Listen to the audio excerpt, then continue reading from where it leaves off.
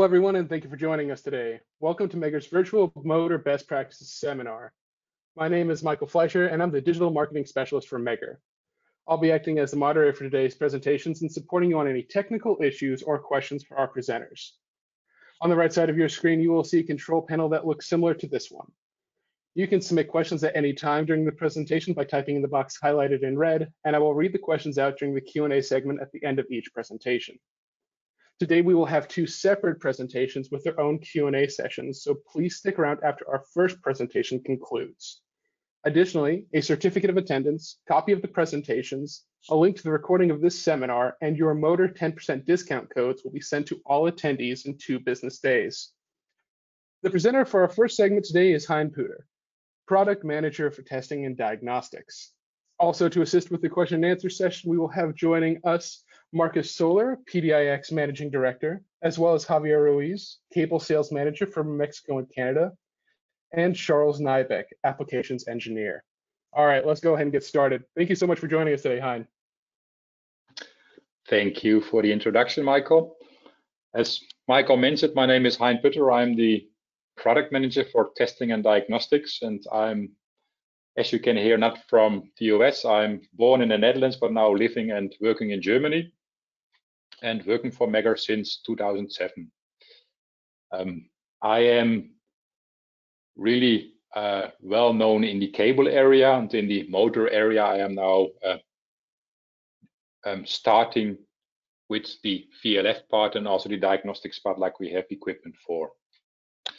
The coming presentation uh, will shortly introduce about why we need to do um, diagnostics or testing on motors. Then it will shortly go into the VLF testing and also its history. So uh, why did VLF occur and why is it now a um, generally used test set? Then we go more into detail to the topic of today, which is VLF testing on motors and generators, then specifically the stator windings. And as with some VLF test sets, you can also do some diagnostics like um, delta measurements or dielectric loss measurements. I will also have a, a, number of slides about the diagnostic measurements which you can perform using a VLF. And in the end, I will finalize with a summary and then we have our Q&A as already mentioned in the beginning. Good. Let's start with the introduction if we look to the uh, performance of large motors and generators, then this is affected by several um, parameters. First of all, it's the choice of cooling medium, then the diameter diameter of the of the core, and of course also the insulation thickness will have an impact on the machine. If you read through the books and documents, then uh, this performance can be measured either by a higher power out, a higher power output or a lower operational and manufacturing cost.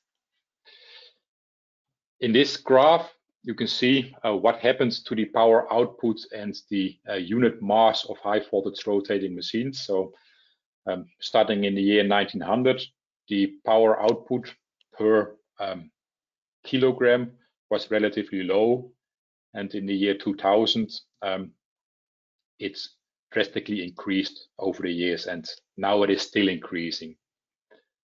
Um, partially, this happened as the insulation thickness um,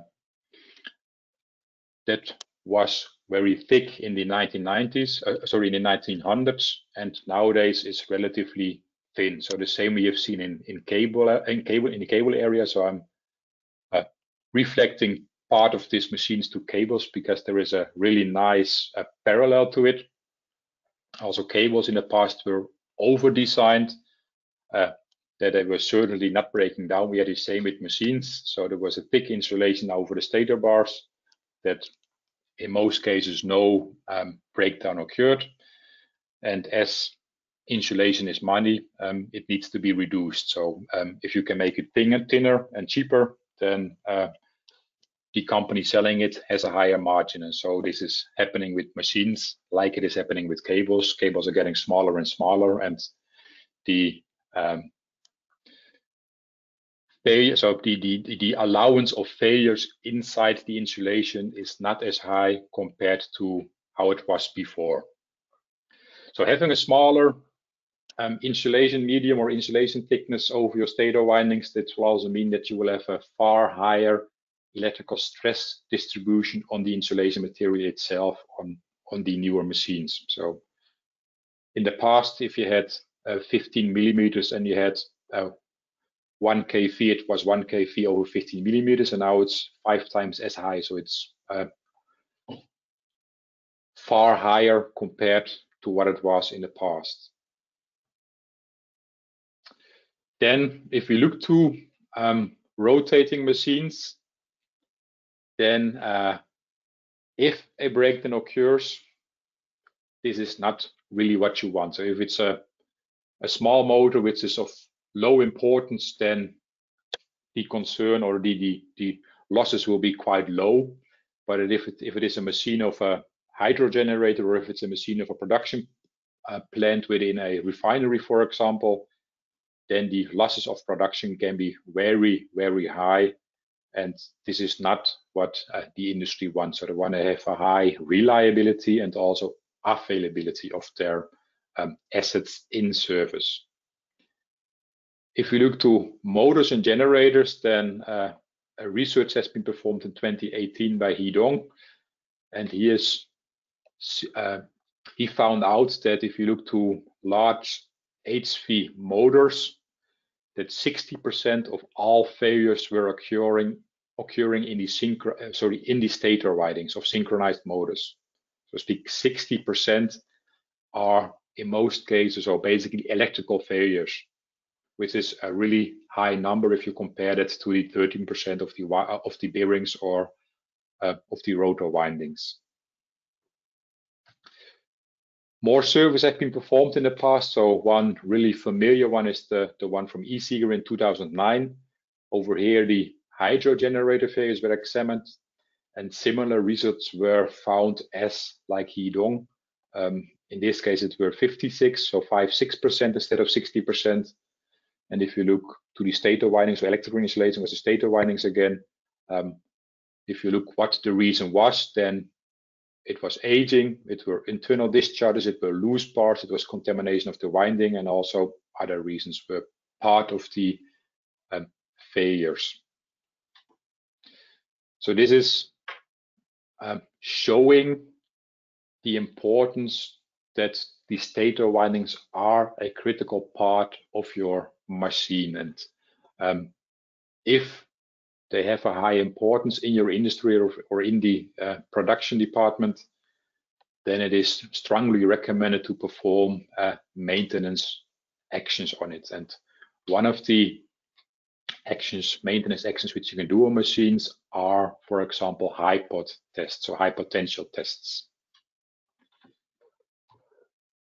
One possibility um, is using VLF testing. This is um, as you will see later on, really starting to become more available in the last decade. In the early days, it was DC and AC. Looking to VLF testing on stator windings, uh, this is dating back to the 60s already, so really a long time ago. So um, I was not even on the world.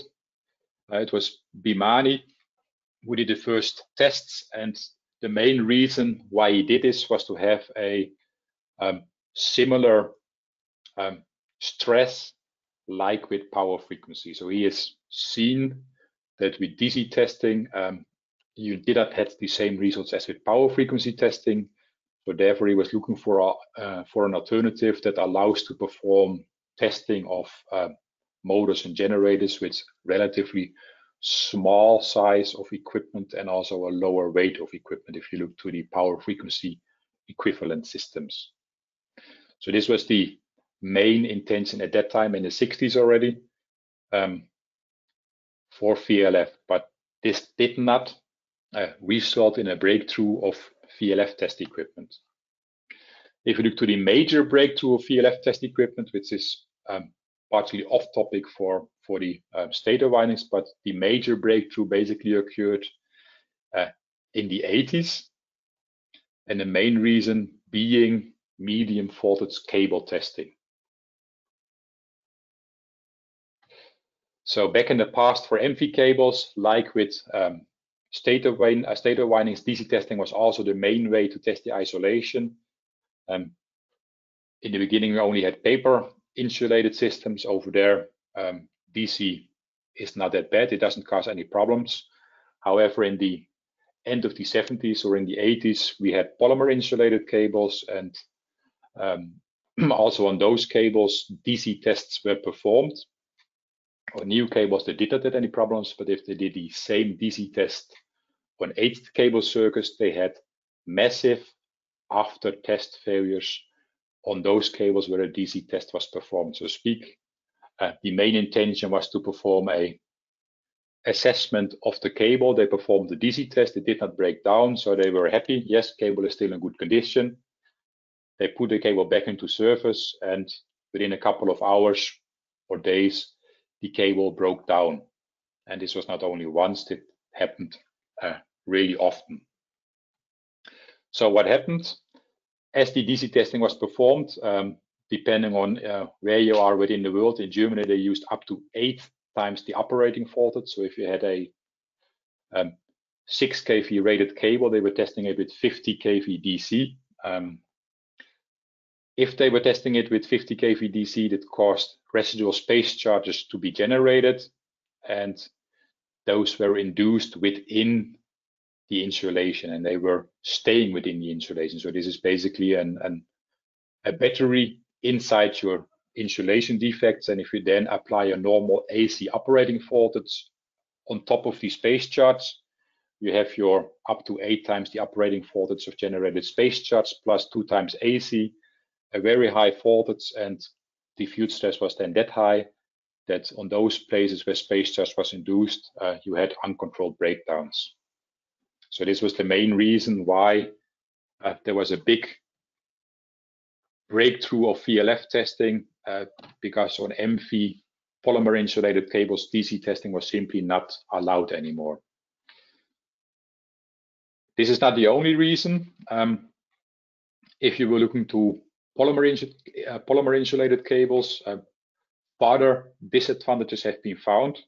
So on the right hand side, you can see a, a practical example which they've done in a laboratory. So they took a real piece of cable. Then they were putting a needle in the cable, so within the insulation. They were energizing it with 50 hertz and they had 10 samples. And all of those samples, of course, broke down because there was a needle in the cable, so that should not be there. They were applying the VLF uh, wave shapes. As you can see, there are several wave shapes, so sinus and cosine rectangular. They put three times the operating voltage on it.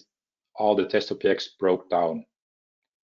On the last um, row, you can see that they also applied DC testing on this sample. They went up to 10 times the operating voltage, 30 minutes, had six test samples and no breakdown occurred. So you can see that also for clean voids, cuts or wet faults, there was no breakdown occurring when applying DC. So the breakdown principle is different if you compare DC with AC, and it's the same with um, nowadays with machines. Um, if you have high moisture within your paper layers, or if it's even really wet, then uh, with DC it will most probably not break down. If you apply a AC stress on it, let it be 50, 60 hertz, or let it be VLF, then it could well be that you break down the uh, moisturized part of the stator windings. That's the same with now with the if you have um, bus bars which are fully isolated or copper or, or stator windings which are fully isolated, then if there is a clean void inside with DC stress, you will not find it. With AC stress, there is a chance that you will break it down during the high test. Looking to the VLF wave shapes, there are basically two core standardized VLF technologies available and uh, only standardized, which is sinusoidal. So that's the one which is here on the left-hand side. It's a sine wave shape having a period of 0.1 hertz, which is the normal frequency, um, meaning one period takes 10 seconds. Another VLF wave shape is the cosine rectangular. So it looks like a rectangular wave shape. But if you zoom in to the polarity reversal, so from either positive to negative or from negative to positive, you have a cosine shape, uh, which is caused by the inductance of the, test of the test system and the capacity of the test object. So those stresses uh, are directly comparable with power frequency because the frequency of the transition of the uh, resonance transition is the same or similar to power frequency. There's always a battle of the sexes. So um, if you look to VLF testing, there's also a battle between sinusoidal and cosine rectangular. So both have their right to be there. But if you look to stator windings, then uh, mainly uh, only VLF sinusoidals uh, test systems are used because there is limited experience available with VLF, VLF cosine rectangular test systems on stator winding testing. Um, if you look to sinusoidal, it can also be used for a Tangens delta diagnostic, whereas with a cosine rectangular wave shape, this is not possible.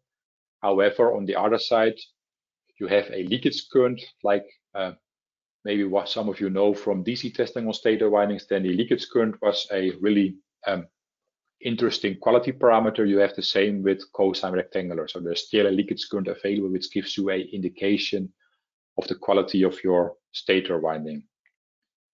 If you look to sinusoidal, then uh, it has a lower testable capacity. So with low, if you speak of uh, capacity, then it's normally one, two, or three microfarads. So this is covering most of the uh, machines available. If you look to cosine rectangular, then there are systems available from 5 to 25 microfarad of testing capacities over there. Really high loads can be tested. One of the differences of sinusoidal compared to VLF cosine rectangular is that the PD characteristics, especially with sinusoidal, can differ uh, compared to power frequency. So this depends on the type of PD you have. If you have corona discharges, then they will have the same inception voltage as with uh, power frequency.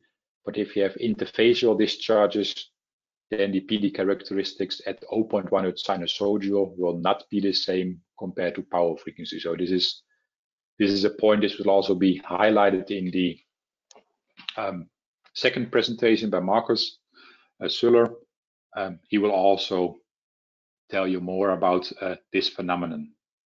If you look to cosine rectangular, then um, like mentioned before, the transition basically has a frequency between 20 to 300 hertz, so it's near power frequency.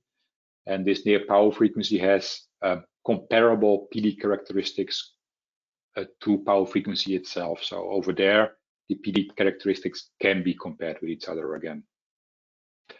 Some examples of test systems. So if you look on the left-hand side, then the sinusoidal test systems are normally uh, lightweight and smaller compared to the cosine rectangular test system. So on the left-hand side, you have, if you look to the RMS value, um, 44 kV RMS. On the right-hand side, you've got 40 kV RMS, but it's double the size and uh, double the weight, but therefore we have five times more testable capacity. In the cable world, um, over there, the um, one microfarad or the five microfarad is sometimes not enough. So on, on the left-hand side, you see an example of a VLF system mounted inside a um, container and then used offshore to test the wind farm cables. Um, so the inter-array cables. And on the right-hand side, you have an example of a, a, very large machine with 25 microfarad of testable capacity, which is um, installed in New York to test the uh, loop cables at once. So over there, you can cover up to 100 kilometer of cable or 25 microfarad um, at 60 kV RMS, which is a really a high load. Good. That's so far for uh, the VLF testing and its history. So the main breakthrough is basically because of um, cables. And as of this breakthrough and as of the uh, development performed on those VLF test sets afterwards, they are nowadays smaller and more compact and also cheaper. So this was one of the reasons why um, the application of VLF testing on stator windings was that, not that popular in the uh, in the old days. So VLF tests presented themselves as an interesting alternative to DC tests since the voltage distribution in the insulation at VLF corresponds significantly better to operating conditions as compared with DC. Due to the lower reactive power for VLF tests, test sets compared to operating frequency, it's also an interesting alternative. And as of the higher load, it's also possible to test stator windings, including medium voltage cables. So this is an important point. So if you look to power frequency test sets, um, if you want to test from the switch out of the switch gear, um, then you have a, a, good chance to test it with VLF because of this high load. If you look to power frequency test sets, if you've got a cable of uh, 100 meter going from the switchgear to the motor, uh, then the capacitive load of the 100 meter really takes a lot of your energy from the um, of your uh, transformer already, of your, of your 60 hertz tra transformer already, that it in most cases it's not possible to test the um, stator winding anymore. In addition, if you look to cables connected to the motors, they are nowadays in most cases um, PE or polymer insulated or XLPE or EPR. And over there, uh, DC is not allowed. So therefore, um, if you want to test the stator winding with the cable connected to it, then you need to go to either VLF or power frequency. And in most cases, then only VLF is a, is a chance as of the higher capacitive load. Looking to the standardization of VLF on motors and generators, then it was first defined already in 1974 in the IEEE 433. And this standard has been upgraded in 2009, so revised. And I'm expecting another revision in the coming years because now, especially with the use of diagnostics, uh, there is more uh, research done in the in the last decade. As in the 70s and 80s, the VLF test sets compared to DC test sets were too expensive its use was very limited. So this was the same on cables. So yes, there was VLF available, but why should I test a cable with VLF if DC is also allowed and the DC test set is lighter, uh, cheaper, and it's standardized. So why should they apply it? So that's why um, also in the cable world, the DC was the main way to test cables. But nowadays, if you look to uh, cable testing, it's mainly only VLF. Only in the last decade, as the prices of VLF tested decreased and also the systems became smaller, uh, the use of VLF systems for high-pot testing on stator winding is increasing. Good. As we are talking about high-pot testing, it's basically putting a voltage on your stator windings um, over here, extensive research has been performed in defining the correct test voltage level at VLF, 0.1 hertz compared to power frequency testing. So over here, there is a nice parallel, parallel again with the cable world. So if you look to the cables, uh, over there, you should test a newly installed cable with two times the operating voltage. And if you twist it with VLF, so two times the operating voltage power frequency, if you test it with VLF, it's three times the operating voltage. So you need a higher voltage to test with VLF compared to power frequency. If you look to power frequency testing on new stator windings, then normally this rule is applied, which is two times the operating voltage plus 1000 volt. Looking to some common uh, motors or generators, we have got 6.9 and 13.8 kV. Then the test voltage with 60 hertz on those machines is either 14.8 kV RMS or 28.6 kV RMS. So U0, oh, sorry, RMS, not peak. If we look to VLF testing, then over here they were applying a factor of 1.63 compared to power frequency, but this is then 1.63 in peak. And if you look to the RMS value then for um, RMS, it's 1.15. So if you test it at, if you test the new machine at 14.8 kV RMS at 60 Hertz, if you multiply that at 1.15, then you have the RMS value for um, 0.1 Hertz. In the table shown in this slide, you see the peak values. So if you want to test a 6.9 kV motor, then if you want to test it with VLF, you need to have a VLF test set that's capable of, of having 24.1 kV peak for a 6.9 kV motor or 46.6 kV peak for a 13.8 kV motor. The factor of 1.63 is based on data for the asphalt mica insulation system. So this is the uh, where, where the factor is coming from. So as we do not only have new machines, uh, most of our machines are in service and we want to maintain them. We want to see if we can keep them into service. Uh, we also want to test those ones. Then normally not the same test voltage levels are used, but of course lower test voltage levels are used.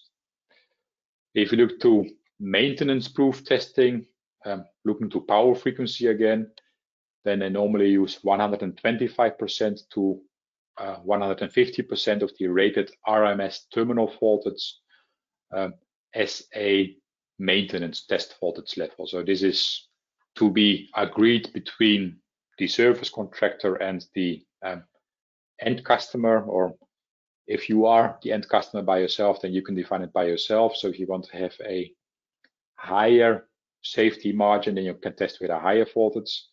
If the machine is less critical, then you can test maybe with a lower test voltage that your um, um, will not have the same uh, reliability as testing with a higher voltage, but it could be good enough for your machine already. So with um, 60 hertz, looking to a 6.9 kV motor, then the test voltage will be between 8.6 and 10.4 kV RMS. Uh, for 0.1 hertz peak testing between 14 and 17 kV peak. And if you look to 13.8 kV motors, uh, it's between 20.8, 28.2 and 33.7 kV peak. So these are the maximum test voltage levels which are recommended to be used on aged uh, motors and generators reflecting it again with the cable world. Over here, they do exactly the same. So if you have a new cable, yes, then test it with full power, uh, three times the operating voltage. Um, if the cable is aged, then normally lower test voltages are used. So uh, where with VLF, normally 3 0 is, is used for new cables, they go down to 1.7 times the operating voltage for um, aged cable circuits.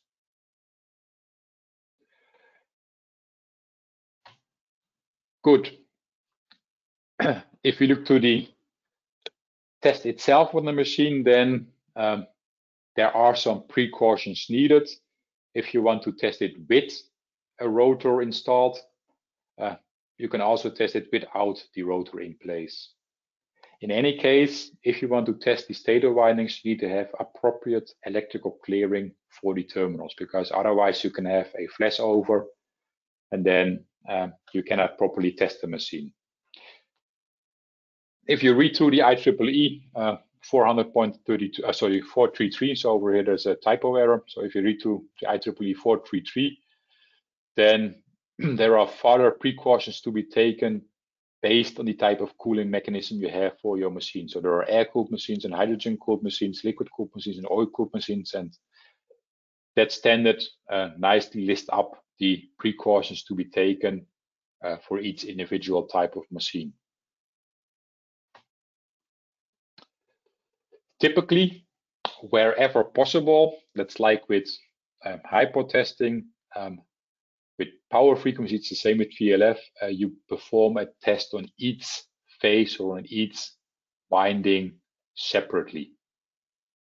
So the best is always to test on each phase separately. And there's one big reason for that, which you can read below. Um, when testing all phases at the same time, then yes, you test phase to ground, but you do not test uh, phase to phase. So you can have phase to phase failures and you can have phase to ground failures. And if you test, if you put the same potential on all three phases, then the voltage difference between phase uh, of stator winding one, so U and V, is of course zero.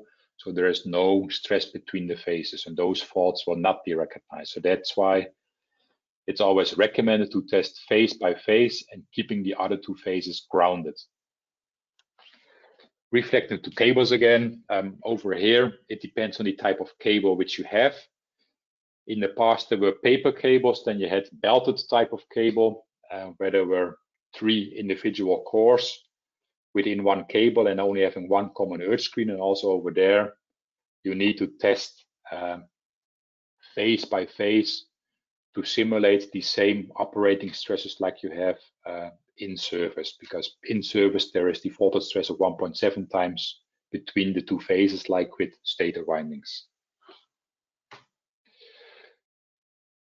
The test procedure for VLF testing is setting the correct test voltage on the VLF and then test for a minimum of 10 AC cycles. So it's a really short test of only 100 seconds. So um, comparing to the cable world where we are talking about 15 minutes up to one hour, this is a really short test.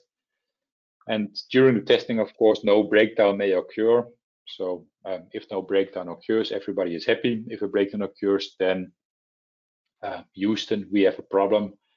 We need to trace where the breakdown occurred and we need to repair the machine.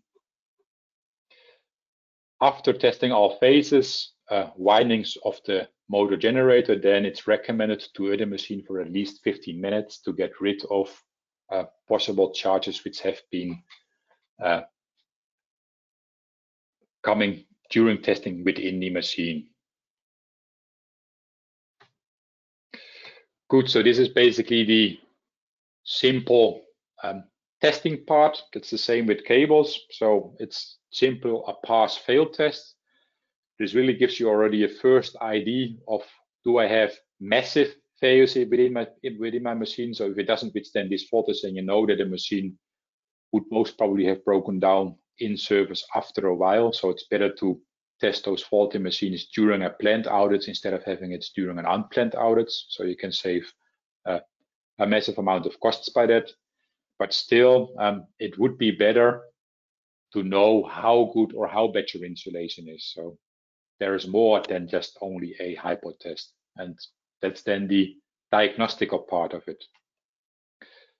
As a high-pot test, no matter DC, VLF, or AC power frequency, is just a simple pass-fail test. No further information is gathered about the condition of the stator winding itself. There's one side mark. Um, for those of you which perform DC testing on stator windings, we do have the leakage current indication. So yes, there is one quality indicator which can be applied, but also this, like mentioned in the beginning, uh, it is one quality indicator, but it does not mean that your machine can be properly assessed based on this leakage current only. Because with DC testing, we do not see all defects within the insulation. So only looking to the leakage currents during DC testing um, is not a proper assessment of your machine. Like with cables, um, also for motors and generators, diagnostic tests are recommended. If you look to what type of diagnostic tests are performed on stator windings, then this is IR testing, so insulation resisting testing. These are the polarization index testing, so PI, uh, which is basically the insulation resistance test for a longer time. Then we have the power factor, dielectric loss, dissipation factor, or Tangens delta measurement. So four descriptions for the same type of measurement. So it depends on where you are, it could be called different, but it's all the same. So you're measuring the losses of your installation. And in the end, which will be discussed further into detail, also the partial discharge measurement is recommended to identify specific type of defects. For the dissipation factor measurements, TD and partial, uh, partial discharge measurements at power frequency, there are IEEE standards available. So if you look to the IEEE standard 286, that's the one for Tangens delta measurements or dissipation factor measurements. If you look to the IEEE standard 1434, then this is a standard describing PD measurements at power frequency on machines. If we go back to the VLF testing, then if you look to the most common commercially available VLF test sets, they do have a internal dielectric loss measurement. So speak, you have one unit, you can connect it to your stator winding. You can both do high-pot testing with it and also a um, delta diagnostic, or if you have a PD coupler, also a PD diagnostic with the VLF test set. Apart from a Tangens delta step test, this will also allow you to perform a so-called monitored Withstand test. Um, for to be honest, if you look to um, stator windings as the recommended test time is only 100 seconds, um, I would rather recommend instead of doing a um, high-pot test than to simply perform a Tangens delta step test and then at the maximum test voltage you do 10 oscillations. So you take 10 Tangens delta readings and then you basically have your Tangens delta test and the high-pot test combined in one. This will give you far more information compared to only doing a monitored Withstand test at one voltage.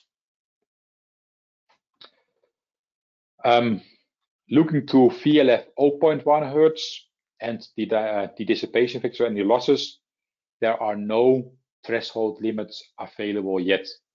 Um, if you look to cables, then it's the other way around. Um, with cables, there are threshold limit, limits available for 0.1 Hertz, but not for power frequency because the most common way to perform Tangens delta measurements on cables is using VLF 0.1 Hertz. Um, with stator windings, it's exactly the other way around. Um, there are no threshold limits available yet um, for VLF 0.1 Hertz. It is known though that if you look to the loss values that they are generally higher compared to 50 hertz, but it's also known, and which is really important, that the aging can be better recognized at lower frequencies compared to power frequency. It's the same with cables. Um, over there we had one specific aging phenomenon, it was water trees. Um, at power frequency, the water trees were hardly recognizable. At 0.1 hertz, you can clearly see the water trees using a dissipation factor measurement. So with machines, same experiences have been uh, made available already that it's you can better compare phases at lower frequencies compared to uh, power frequency dissipation factor measurements. So going back to this slide, you can see a comparison of a machine. This is from a research performed in uh, 2019 they used a machine, they tested it with uh, power frequency, they tested it with 0.1 hertz, and you can see that over here, there, yes, the Tangens delta values are higher, but it's uh, only 1% higher. Over here, we have another machine, and um, you can again see that the losses at 0.1 hertz are higher compared to power frequency. also, better recognizable. At power frequency, it looks like everything is one line. At 0.1 hertz, those lines are segregating from each other already. So over here, there is already a dependency between the phases recognizable, recognizable comparing 0.1 hertz with 50 hertz power frequency. The classical way of representing the dissipation factor of stator windings was the tip up value.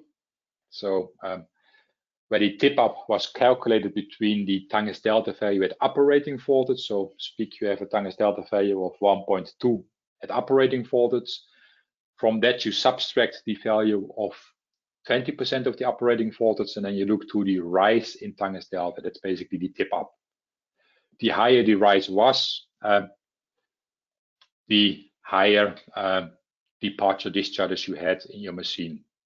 So that's the second line, so when losses are being displayed as a function of the voltage, one has the chance to see where the PD starts to initiate. So this is not a tip up. This is if you put a higher voltage on a machine, you can sometimes see the voltage level where you really have high PD because then the losses will increase. Um, and the tip up is basically a represent a representable factor of this. Looking to the uh, machines with having a silicon carbide stress control coatings on the on the coils, one should know that this has an influence on the tip up. um, values up to 2 to 3% have been reported.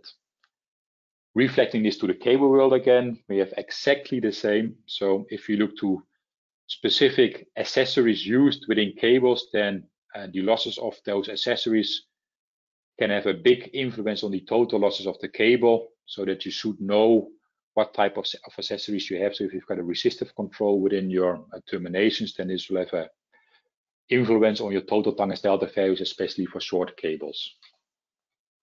And the same you have then with the silicon carbide stress control on your stator windings. The dielectric losses and the tip up will differ based on the type of isolation used within your machine. And especially the trending over time gives you the feedback about the condition of the stator winding. So you have your uh, base value or your fingerprint value one, you retest after three to six years, then you have another value. If those values remain the same, that's a really positive sign because there are no further aging occurred.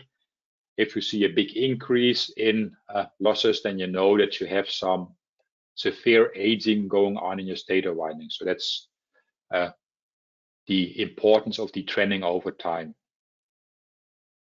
Exactly the same applies to paper insulated cables as well. The tip up test, as already mentioned, is basically giving an indirect indication about the amount of PD. Um, this only for those PD defects where the repetition rate is high.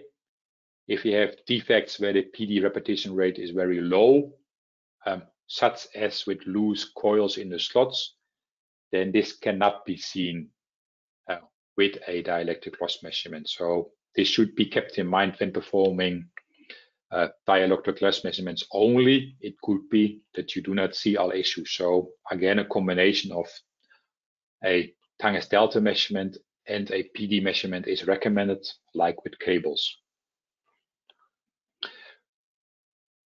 When performing a Tangens delta diagnosis, it's recommended uh, to perform more than two steps, so at least three or better four steps to get more information about the losses within your machine and also about the stability of the values you have.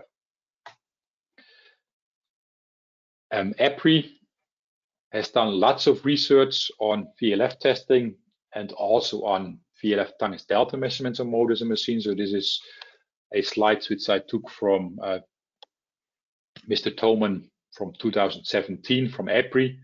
His major findings of VLF Tangens delta on machines were that it separates deteriorated motors with uh, so aged machines from good machines. So over there, it fulfilled this function.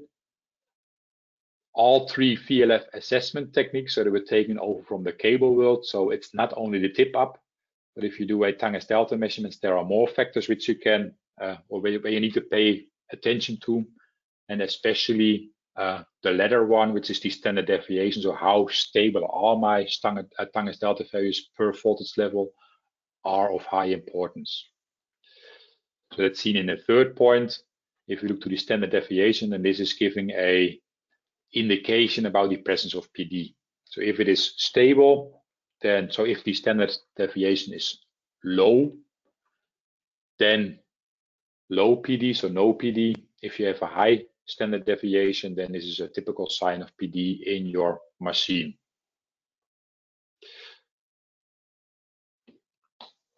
And then also one of his research was then using shielded cables and non-shielded cables. And over there he had surprisingly good results and further investigation was recommended to be performed.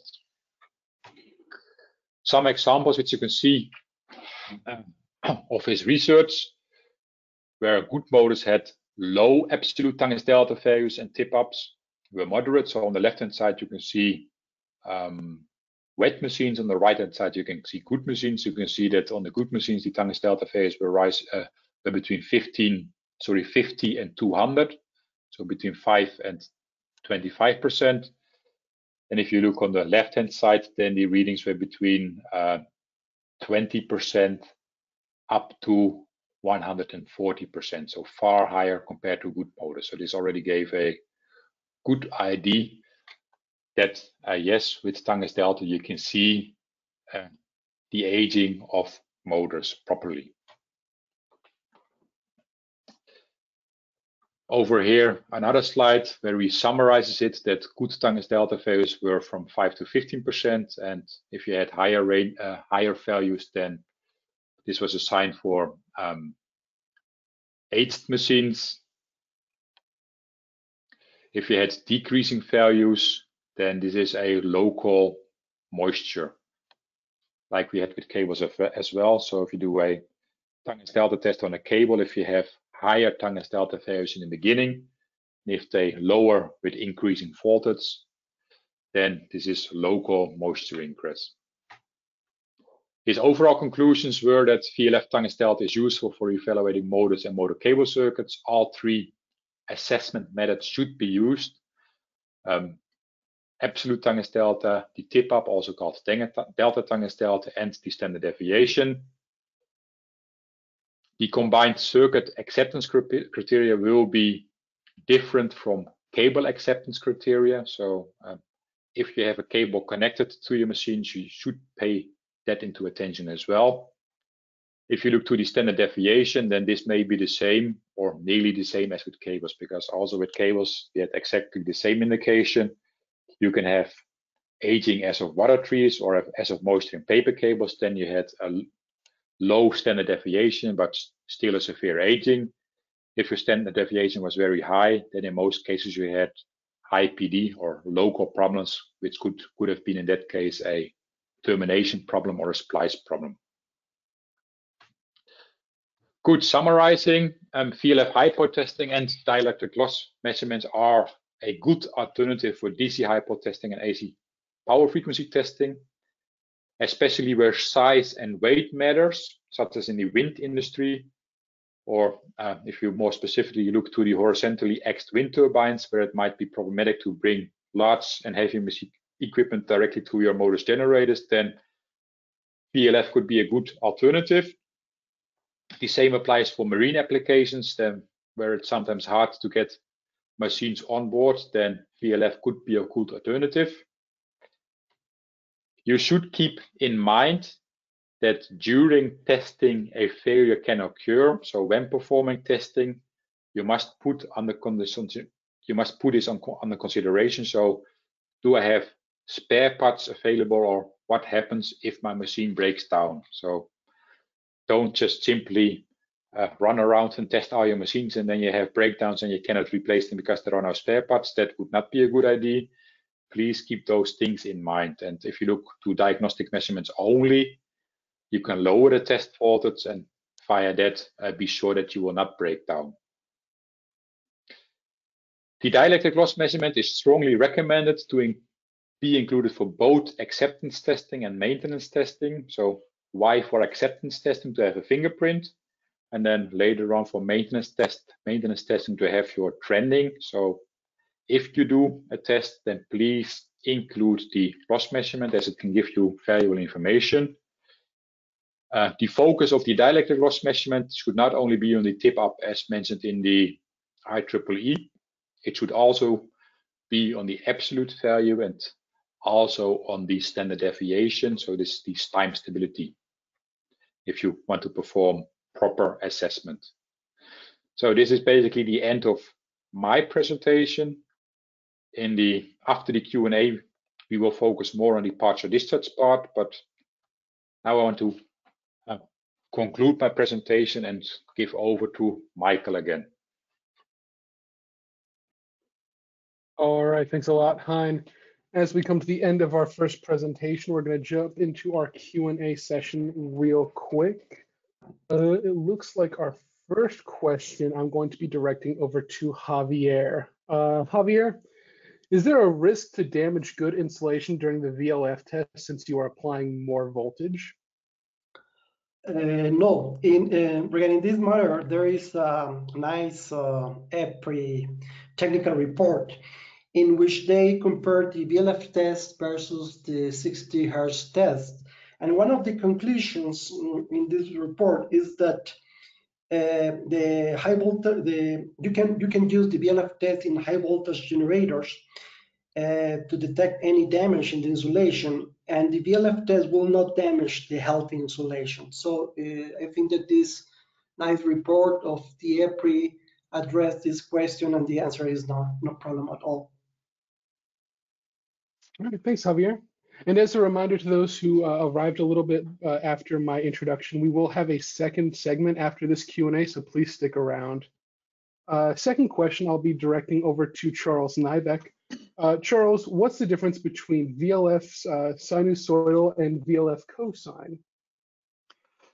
Uh, that's a good question. Um, so as Hein had stated, the continuous AC, the VLF sinusoidal is just your 0.1 hertz uh, sinusoid wave um, that would complete its first or first cycle or first period in 10 seconds or 12 seconds, depending 50 or, uh, or, or in 10 seconds, sorry.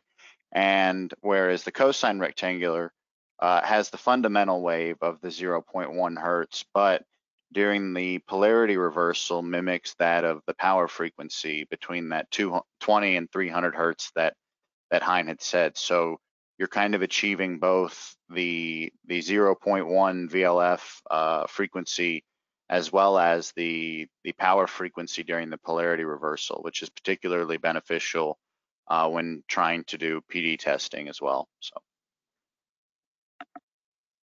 All right, thank you. Uh, next over to Javier again. Um, Javier, are there break, uh, what are the breakdown voltages for the same for the VLF test and the 60 Hertz tests? Yeah, they are pretty much the same. Uh, the breakdown voltage characteristics uh, for VLF and 60 Hertz of power frequency are very similar. And indeed, for the RMS values are almost identical. So yes, there. if you have a fault, the, the breakdown voltage will be pretty much the same. All right, thanks a lot. Next over to Hein. Uh, Hein, what are test voltages for 50 hertz machines? The test voltages for 50 or 60 hertz machines I've, I've, I've shown as well. Um, if you look to 50 hertz machine, it's the same like a 60 hertz machine. Um, it's two times the, the rated voltage, so two times U0 plus 1000 volt for new machines. If it is an 8 machine, then um, it depends on the agreement between the end user and the tester. It's between normally between 125% and 150% of the um, phase to ground voltage of the machine. All right, thank you, Hein. Uh, next question is also going to be for you.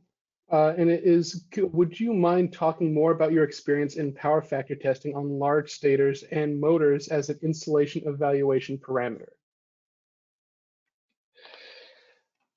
I would say that it has been nicely um, summarized by, by Mr. Tolman. So he did lots of research. And also if you look to, to other documents from um, researchers performed in Finland, where they also were writing a thesis for ABB, they did sometimes delta diagnostics and there are really good comparisons made between um, power frequency and 0.1 hertz.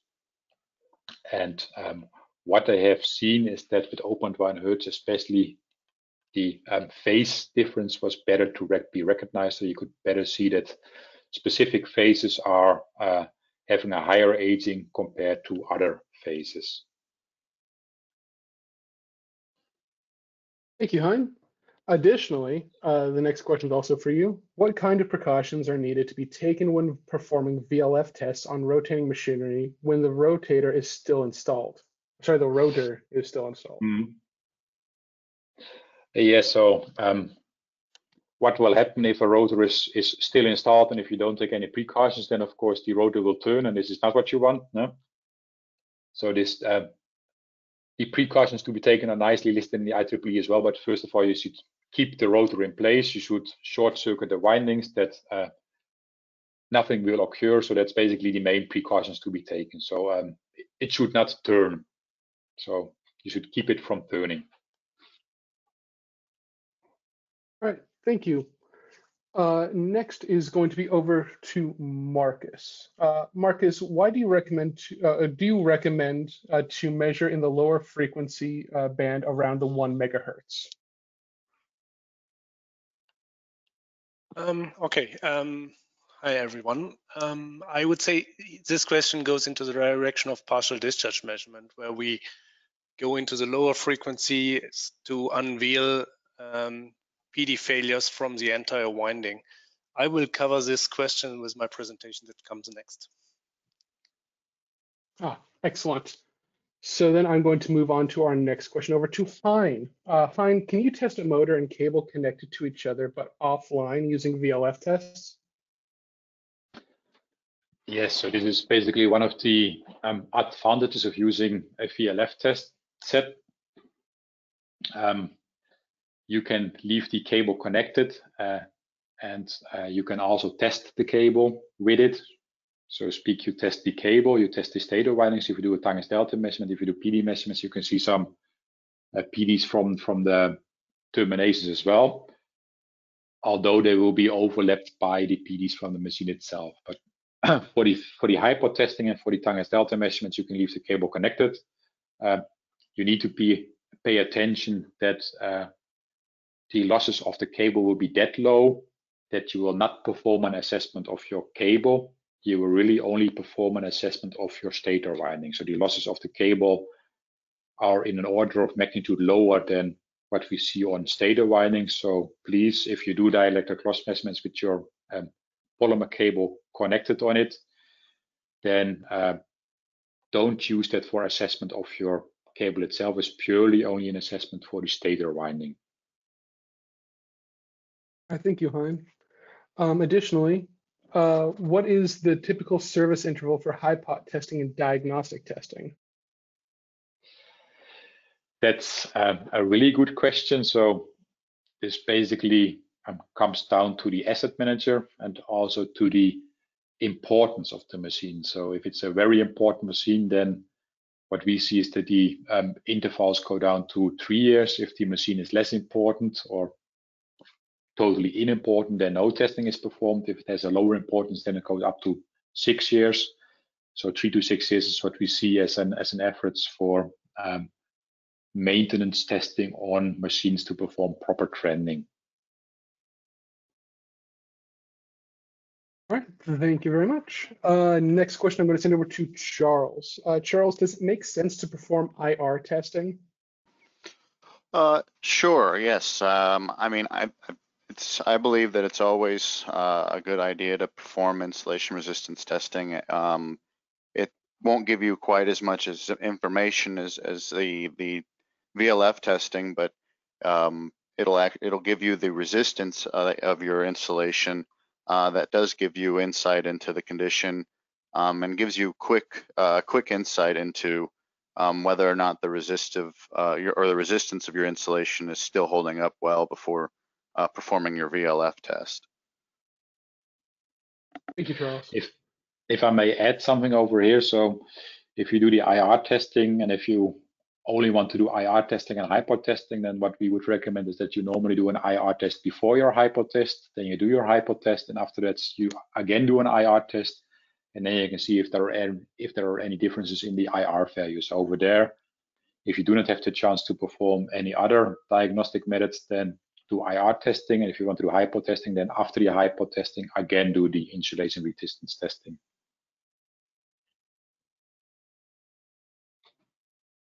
All right, then. Uh, it looks like we have time for one more question. I'm going to send this over to Marcus. Um, Marcus, why does VLF recognize aging compared to power frequency? Um, okay, I guess this question refers to the part from Hein about uh, tan delta measurement. Um, and I presume that it's uh, with VLF you see the resistive losses stronger than with power frequencies. Is that right, Hein? Can you confirm? Uh, yeah, so this is, um, we have the same with cables. So um, also over there, the losses are better recognized uh, as of the resistive components. That's, that's how I see it as well. Um, but it could also be uh, the polarization losses are, are different compared to power frequencies. So there are more effects playing a role why it's easier to recognize, or I do not say it's better, why it's easier to recognize uh, the uh, dielectric losses at a lower frequency compared to a higher frequency. And you see the same with, with transformers also over there. They perform the loss measurement over a frequency spectrum. And in most cases, at the lower frequencies, they can identify the um, moisture part of the transformer then. So if the transformer is moist, then you see that at the lower frequencies, but not at the higher frequencies. All right, thanks a lot. So it looks like that's all the time we have for our first Q&A segment. If we didn't get to your question online, we'll be trying to reach out to you offline so we can give your question the attention we need to give it. Uh, with that, we're going to be moving on to our second presentation of our BPS, and that's going to be with Markus Söller. Uh, Markus, are you ready to receive presenter control? Yes, please. All right.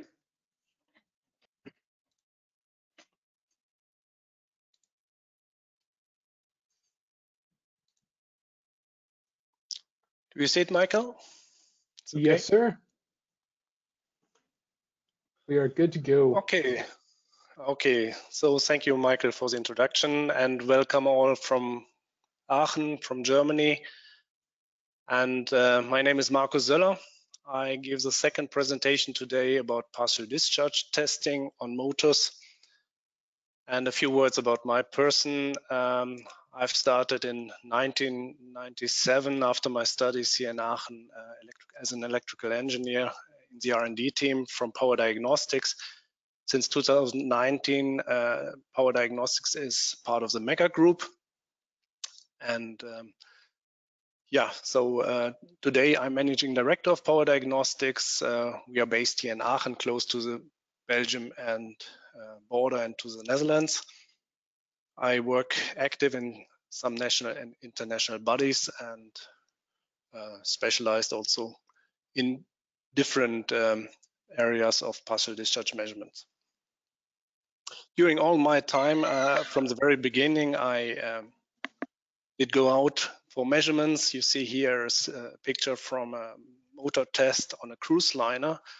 Uh, just a side story. Um, uh, this cruise liner is one of the, the, third largest cruise liner on the world. We did uh, motor test on thruster motors. Um, you have to imagine these uh, cruise liners are uh, in an island operation. You have a complete medium voltage switch gear and distribution um, uh, network on this um, and um, it's very essential that all assets are maintained and serviced and um, controlled. And uh, with PD measurement, we did check the insulation here. And I hope after my presentation, you will not look that confused as uh, on the slides as I do here on this picture. Okay, um, today it's about insulation assessment of motors through PD testing. The agenda of this presentation is um, built up in, in, the following way. Uh, first, I will speak a bit about the reasons why uh, partial discharge measurement is uh, of sense and what is the uh, benefit of partial discharge testing in addition to all the other test methods. part of that we have heard from Hein in the presentation before. I will speak about applicable standards, normative references for PD measurement on uh, rotating machines. Then I go further into measurement techniques. Um, I will show test setups for offline testing. And I will give an introduction into signal properties of partial discharges, um, calibration of the setup, and how to perform and run a complete test, including uh, reporting and um, interpretation. Interpretation is then the most important part. And uh, with that, I will then uh, jump over into failure examples and I show um, a few typical insulation problems on, on motors. So why are we uh, recommending partial discharge measurements on rotating machines in general? First, the offline PD measurement um, helps to assess the insulation health um, of all these kind of machines. A change in the PD pattern and the PD amplitude indicates an incipient failure. And finally, the, the PD pattern analysis assists with failure investigation. So you can use the partial discharge measurement as an indicator for an, um, um an ongoing process, but also you can use it for uh, pinpointing on the uh, on the root cause. So, and if you uh, con, uh, combine these kind of PD test with other uh, measurements as loss factor measurements, what we have heard before, and also other dielectric tests with Megger instruments, then uh, you, you get a great added value. By the way, this on picture here on the on the on the left, on the right is a measurement we have um, taken with our mobile test van uh, with power um, source in, in the back, um, uh, and um, here an instrument that you will see later in, in uh, some slides where I will show our instruments. Um, here we did connect to the terminals of this motor and we measured partial discharge and um, loss factors uh, during this factory test. Another reason, and, and you have seen this uh, diagram before in Hein's presentation, um, with, with motors above 2 megawatt, um, we um, have studies showing that more than two-thirds of all failures are rooted to stator winding problems. Um, this is due to the difference in, in, the, um, in the sleeves um, you have with the higher ratings, you have uh, sleeve bearings. Uh, with the uh, motors below 2 megawatt, you, you have uh, roller bearings. So with these motors below 2 megawatt, most of the failures were um, related to these problems with the bearings. But um, with higher rated motors, it's different. And when we go into the separation of these problems with the stator winding, we can also look into um, um, into an ana analysis that was done during an uh, IEEE investigation, and it's related to hydrogenerators, but the insulation properties of stator windings uh, on, on larger generators compared to motors is uh, from the physics um, not so much different. That's why I, I use this kind of uh, diagram as well in this presentation. So here you can see uh, uh, again the split between insulation damages and to the right you see a lot of um, failures uh, related or which can be unveiled to, by partial discharge measurement, such as aging, um, internal discharges, uh, some loose components, um, cor uh, defective corona protection, a contamination of the winding. All these can be found by partial discharge testing. And later with my examples, you will see some photos and also the measurement results.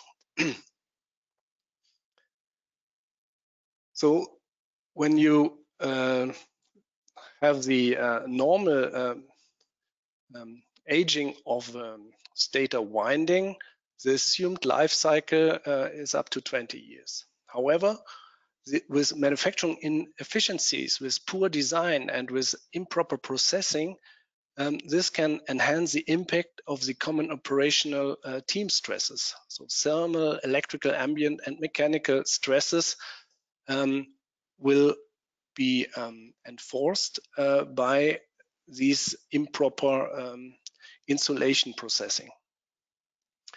So by then you find then a, a much faster developing of PD behavior and that reduce the lifetime of the insulation uh, system at all. The PD fault mechanism developing on a critical position within the winding may cause then severe problems in a couple of months. So um, the lifetime of such an insulation system um, drops down significantly. And yeah, as we know that, we, we say PD testing is an excellent tool to assess the condition of the insulation. Coming next to the uh, applicable standards and the normative reference, um, yeah, first of all, there are no standards defining acceptance criteria for partial discharge. Um, when you go into the factory, a manufacturer of new motors, he, he will not test uh, a motor and say everything below 100 picocoulomb or 200 picocoulomb is good or bad. There are no standards saying that. so it's up to the quality manager to decide um, which acceptance level they use. and due to that, we have uh, quite often endless discussions between owner and manufacturer after submission of the test reports and even during the factory acceptance tests. An, an, important difference between rotating machines and other applications is the property um, to be PD resistant versus other PD-free insulation systems. So the insulation um, um, of a motor or in general of a stator winding um, shows some from the very beginning uh, internal PD due to the spaces, due to the distances, due to the uh, rotating um, um, components. Uh, you have some spaces with higher electrical fields. So by, by this nature, you, you find PD activities from the very beginning on a relatively low level, and that's uh, so that's very common and not very critical. So then uh, we, we find quite often these questions, how much PD is now too much PD? And how, do how to define acceptance criteria for PD resistance insulation systems? Later, when we go into the PD pattern, then you will see the difference is more um, given by the um, different characteristic of a PD pattern than by a, a pure amplitude level. So the interpretation of the uh, partial discharge pattern becomes much more relevant than, than just a pure value. As I said, there are no applicable standards saying there, there are acceptance levels defined, um, but we have some recommendations.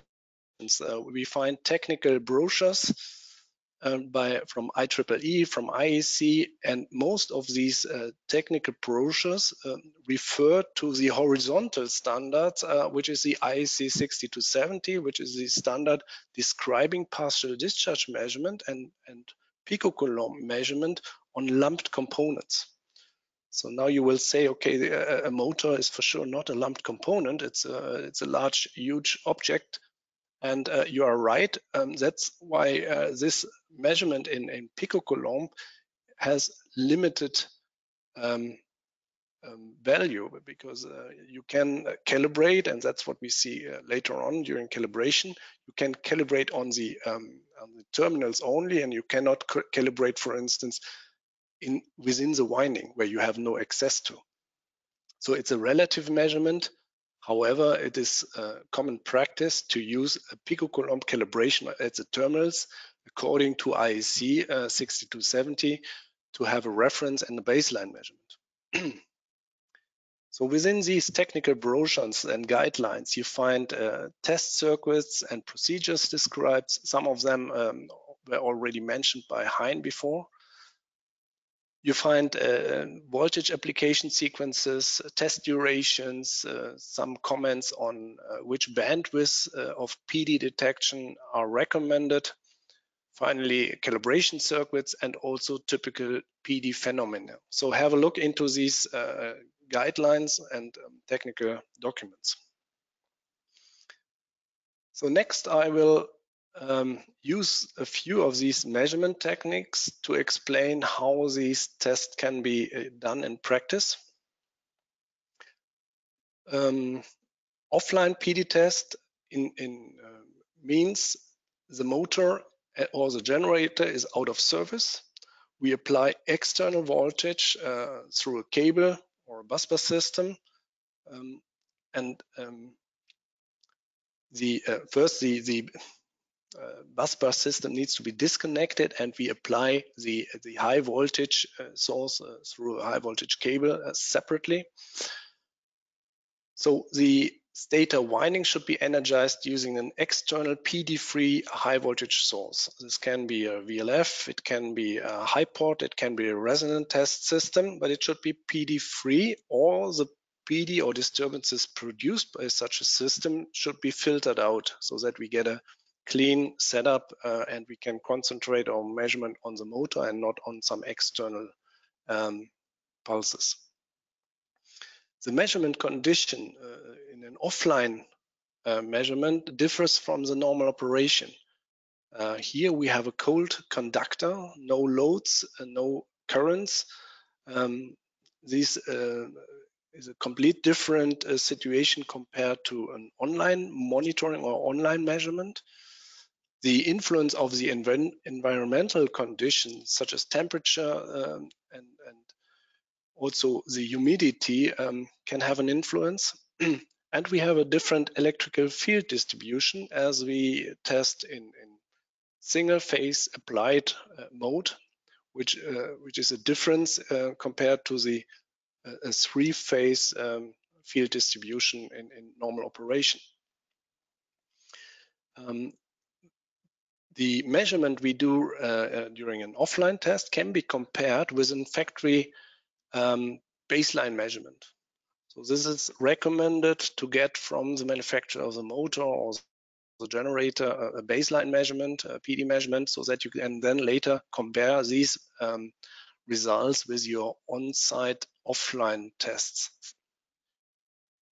If we perform uh, offline tests on such a system, we combine it immediately with visual, inspections, with loss factor measurements, capacitance measurements, and also with some other dielectric tests.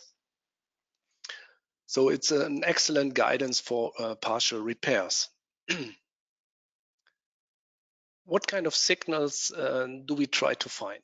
Um, high frequency PD signals um, appear at its origin in a gas um, inclusion.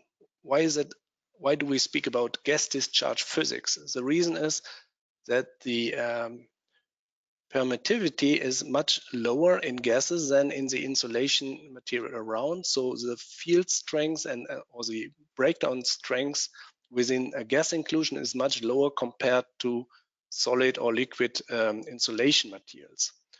So if there's a delamination, a void, or then, then we find gases inside, and there that's the place where the electron avalanche starts.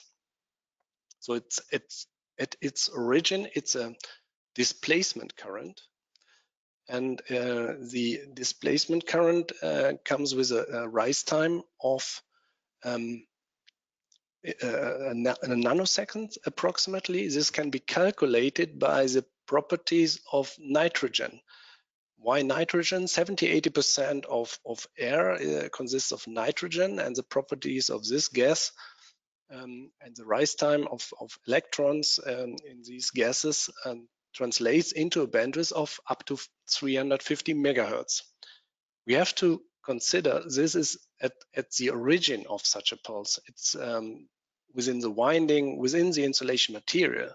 The pulse that can be measured at the outer terminals um, is um, in frequency uh, spoken, it's much lower. So we did calculations um, um, where you have to consider the different impedance within the slot compared to the impedance at the slot exit and at the overhang exit. Uh, overhang exit. Within the slot, you find 10 to 20 ohm. At the slot exit, at, in a range of 100 ohm. When you consider the, the core length, then uh, the uh, most of the signal, up to 80% of the uh, signal keeps uh, trapped within the slot. So only 20% of the signal um, um, will not be reflected and is measurable at the outer terminals. Furthermore, we have dispersion, we have um, reflections, and that leads then uh, to a residual um, pulse bandwidth at the terminals or a recommended uh, measurement uh, frequency at the terminals in the range of 10 uh, below 10 megahertz by far below 10 megahertz. Uh, this frequency um, uh, is then a frequency that allows us to see all problems within the winding. If you measure in higher modes in higher frequency far above 10 or 20 megahertz then you are limited in, in your view inside of the insulation of the winding. So this needs to be known that the sensitivity of the measurement drops down significant, significantly when you go up into these higher frequencies. And this uh, basic understanding of the pulse propagation and bandwidth uh, is important for the uh, measurement and for the analysis. also, if you go into the interpretation of, of time domain signals, and you have to know how such a signal travels through the winding to the terminals where you put your coupling unit on. Okay, uh, let's compare the measurement results in these different frequencies. Here, as an example, we took measurements on one and the same asynchronous motors, 6.6 kV asynchronous motors with internal uh, neutral connection, and we did measurements um, at different frequency ranges. First, in the left upper corner, you see a frequency measurement uh, between 40 and 800 kilohertz according to the IEC 260 to 70 standard. A very nice PD pattern uh, with um, well distributed um, activities. It's uh, from a thermally aged uh, winding and the um, uh, calibration is correct as we are in this frequency uh, range below one megahertz. Um, and you can see that the number of PD pulses we count during a preset set time of 60 seconds is uh, with 1.2 million comparably high. But that's, that's typical with a 50 hertz measurement.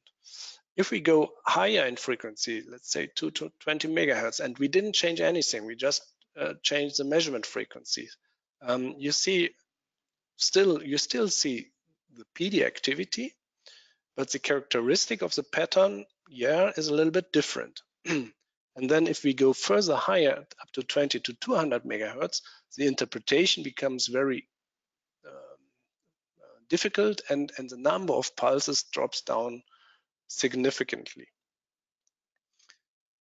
Okay, this uh, you should keep in mind when selecting a PD measurement instrument and also a PD uh, frequency range for your measurement that the results can differ um, strongly if you go into different uh, areas of the spectra.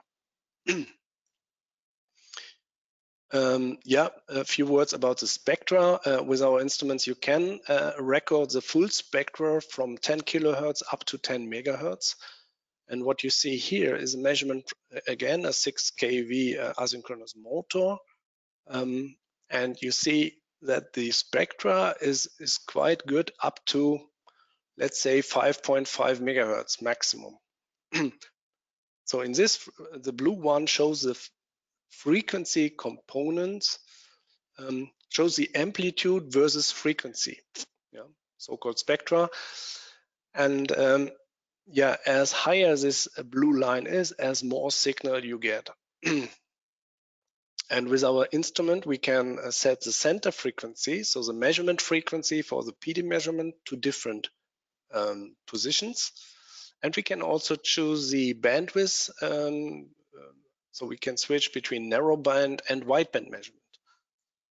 This kind of frequency selective measurement helps to um, to find areas in, in the spectra where you have a low impact of external noise, external disturbances, and a very nice signal to noise ratio to get such nice pictures and patterns as you see it here to the right. Okay. Calibration. Yeah, as I said before, the PD measurements are relative measurements and require a calibration according to IEC 6270 if you want to show partial activity in picocoulomb or nanocoulomb.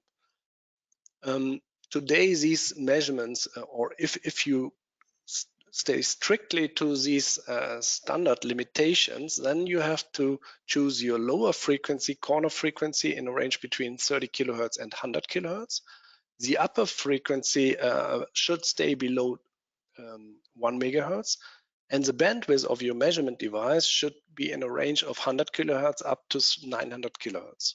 So all frequencies between 30 kilohertz and 1 megahertz can be chosen if you consider um, to choose a, a bandwidth um, according to these definitions. With a calibration, we um, inject an impulse, um, a, a calibrated impulse into the terminal, so as close as possible to the tested winding. Um, by doing so, we can simulate an, a PD pulse that comes from the um, winding, and we compensate the um, overall attenuation of the test circuit. So this need, this kind of calibration needs to be done every time you are uh, doing a new measurement on a new motor or anything in your test setup did change. With a calibrator, you, you have a known magnitude um, and you can adjust then the instrument to this known value so that you get then measurements showing the correct Y scaling on the PD measurement. so with these uh, so-called quasi-integration, uh, as it is described in the standard, um, um, you get then very good results and all the, of our PDIX instruments support this uh, measurement principle. The circuit for the PD calibration looks like that. Uh, we inject here with a pulse generator to the terminal under test. So in this case, it's to U1. The motor is still um, offline. We have no uh, voltage applied, otherwise our calibrator would get destroyed.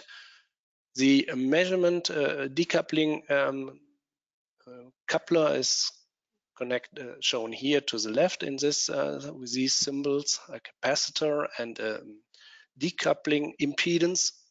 and from here it goes to the measurement device. The in this configuration here, the, the power, uh, the U um, phase is powered from the neutral side, but that can also be different. It depends on the test setup and the possibilities.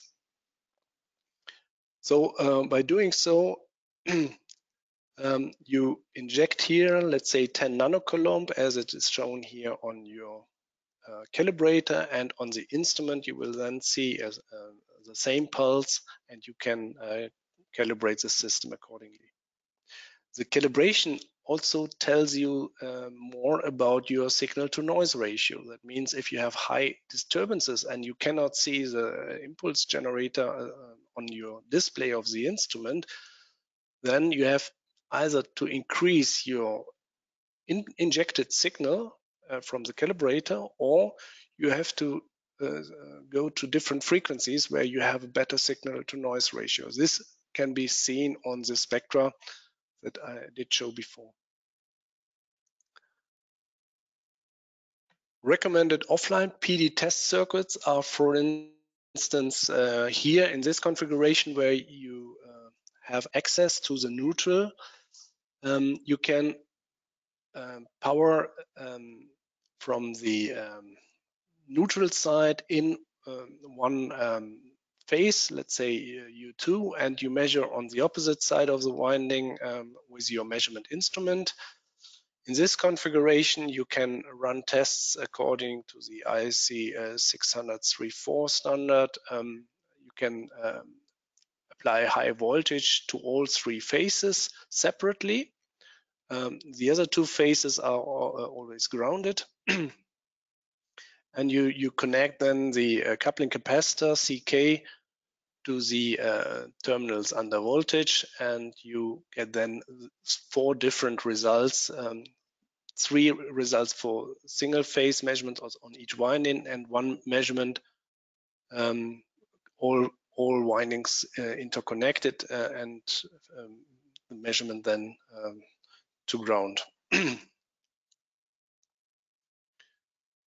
Um, if you, you do have um, uh, internal start point which cannot be uh, opened, in this case, um, you can power then from the same um, side as where you have your coupling um, decoupling uh, unit connected. Um, so here we have then uh, the configuration um, in this way that we can run these, these following tests. Um, and um, yeah, you see the, the star point is uh, short, uh, is, is, is, interconnected. And for that reason, we leave uh, V1, W1 open and we test one phase after the other. so, and you can, can also uh, uh, energize the, the, in this case, you energize in fact the, the entire winding. So what kind of measurement instruments do we um, use or can we use for these kind of tests? First of all, uh, for we, we have to build up a, very modular system or we offer a very modular system starting with a decoupling unit. Here to the left, you see uh, different coupling capacitors of different voltage ratings uh, we offer coupling capacitors from 7 kV up to 14 kV, uh, 20, 25, and even higher. For motor testing, these three, four are the most common coupling capacitors. Some of them can also be permanently installed um, on, on motor terminal boxes, which is recommendable uh, in case you uh, want to perform an online measurement with your portable instrument. Alternatively to these uh, coupling units, um, which also provide then a voltage uh, signal from the down divided uh, high voltage. There's a capacitive divider built in and on the output terminal you get the PD high frequency signal plus a superimposed um, synchronization voltage signal.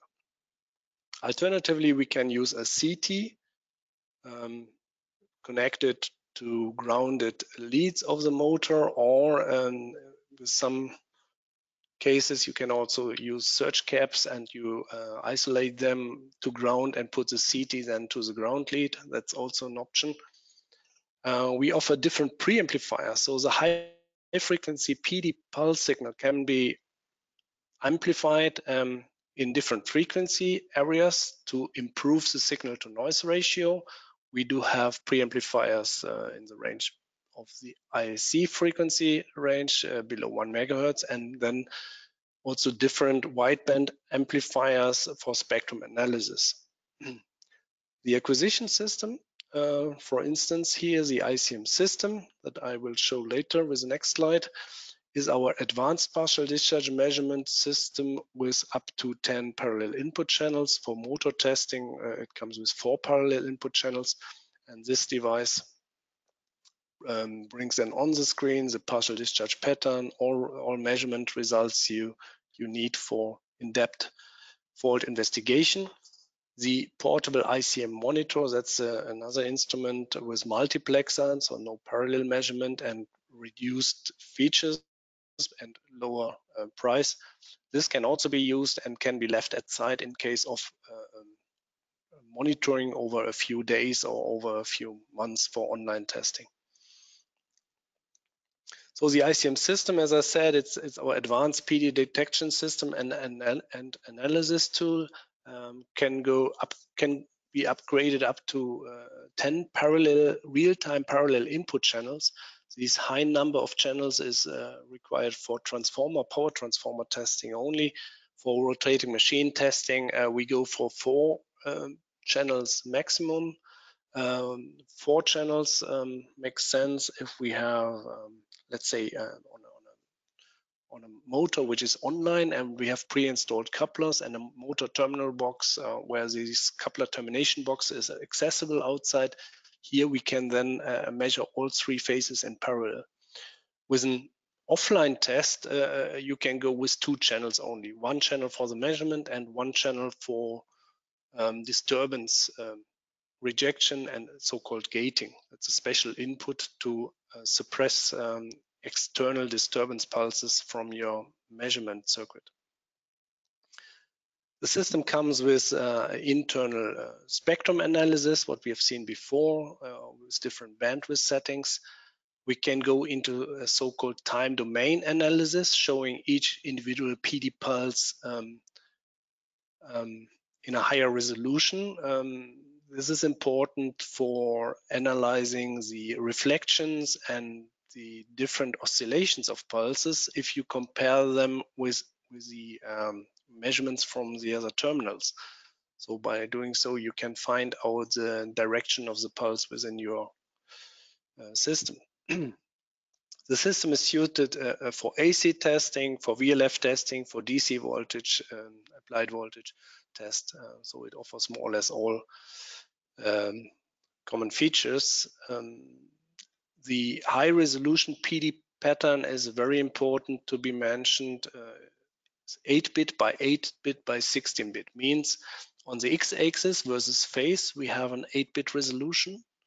On the y-axis we have an 8-bit resolution and on the z-axis uh, um, 16-bit resolution. The, the z-axis um, is the number of pulses on each individual phase amplitude position. And the number of pulses is translated into a color. So that's why you see a PRPD pattern in a two-dimensional way.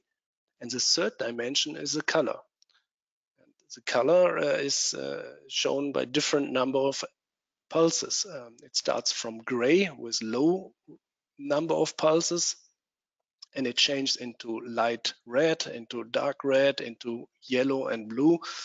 The different manufacturers of partial discharge measurement instrument uh, defined their own uh, color coding.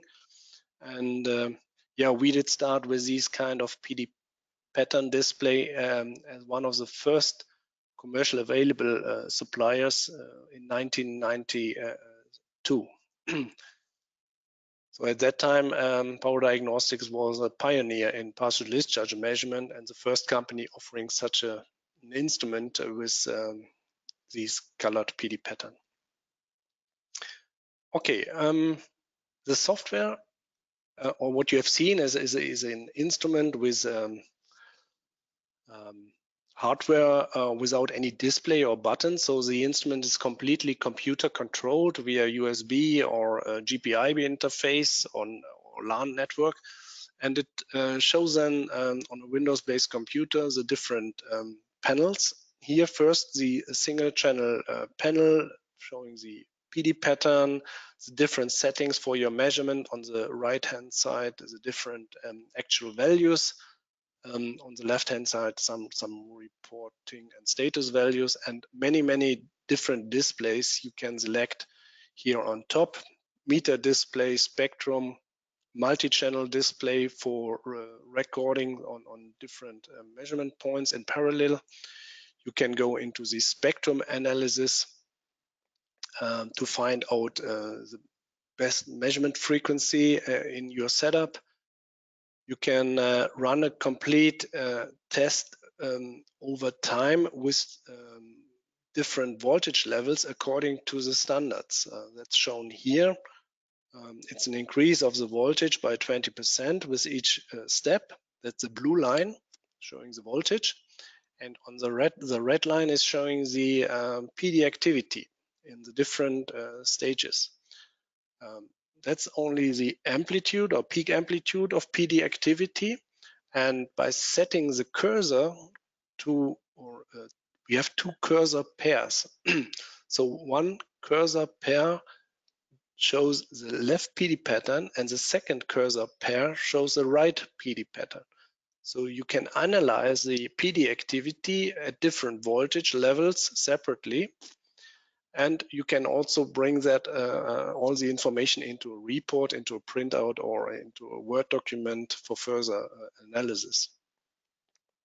It would uh, go too far to explain all features, functions of this software. We offer two, three days training if we sell such an instrument, but it's not not uh, not a miracle. It's um, not that difficult to get used, and for sure, the partial discharge pattern interpretation is something that needs experience, some training, but you find today so many literature and, and uh, good documents and, and, papers, publications that will help you to do this kind uh, of analysis on your own.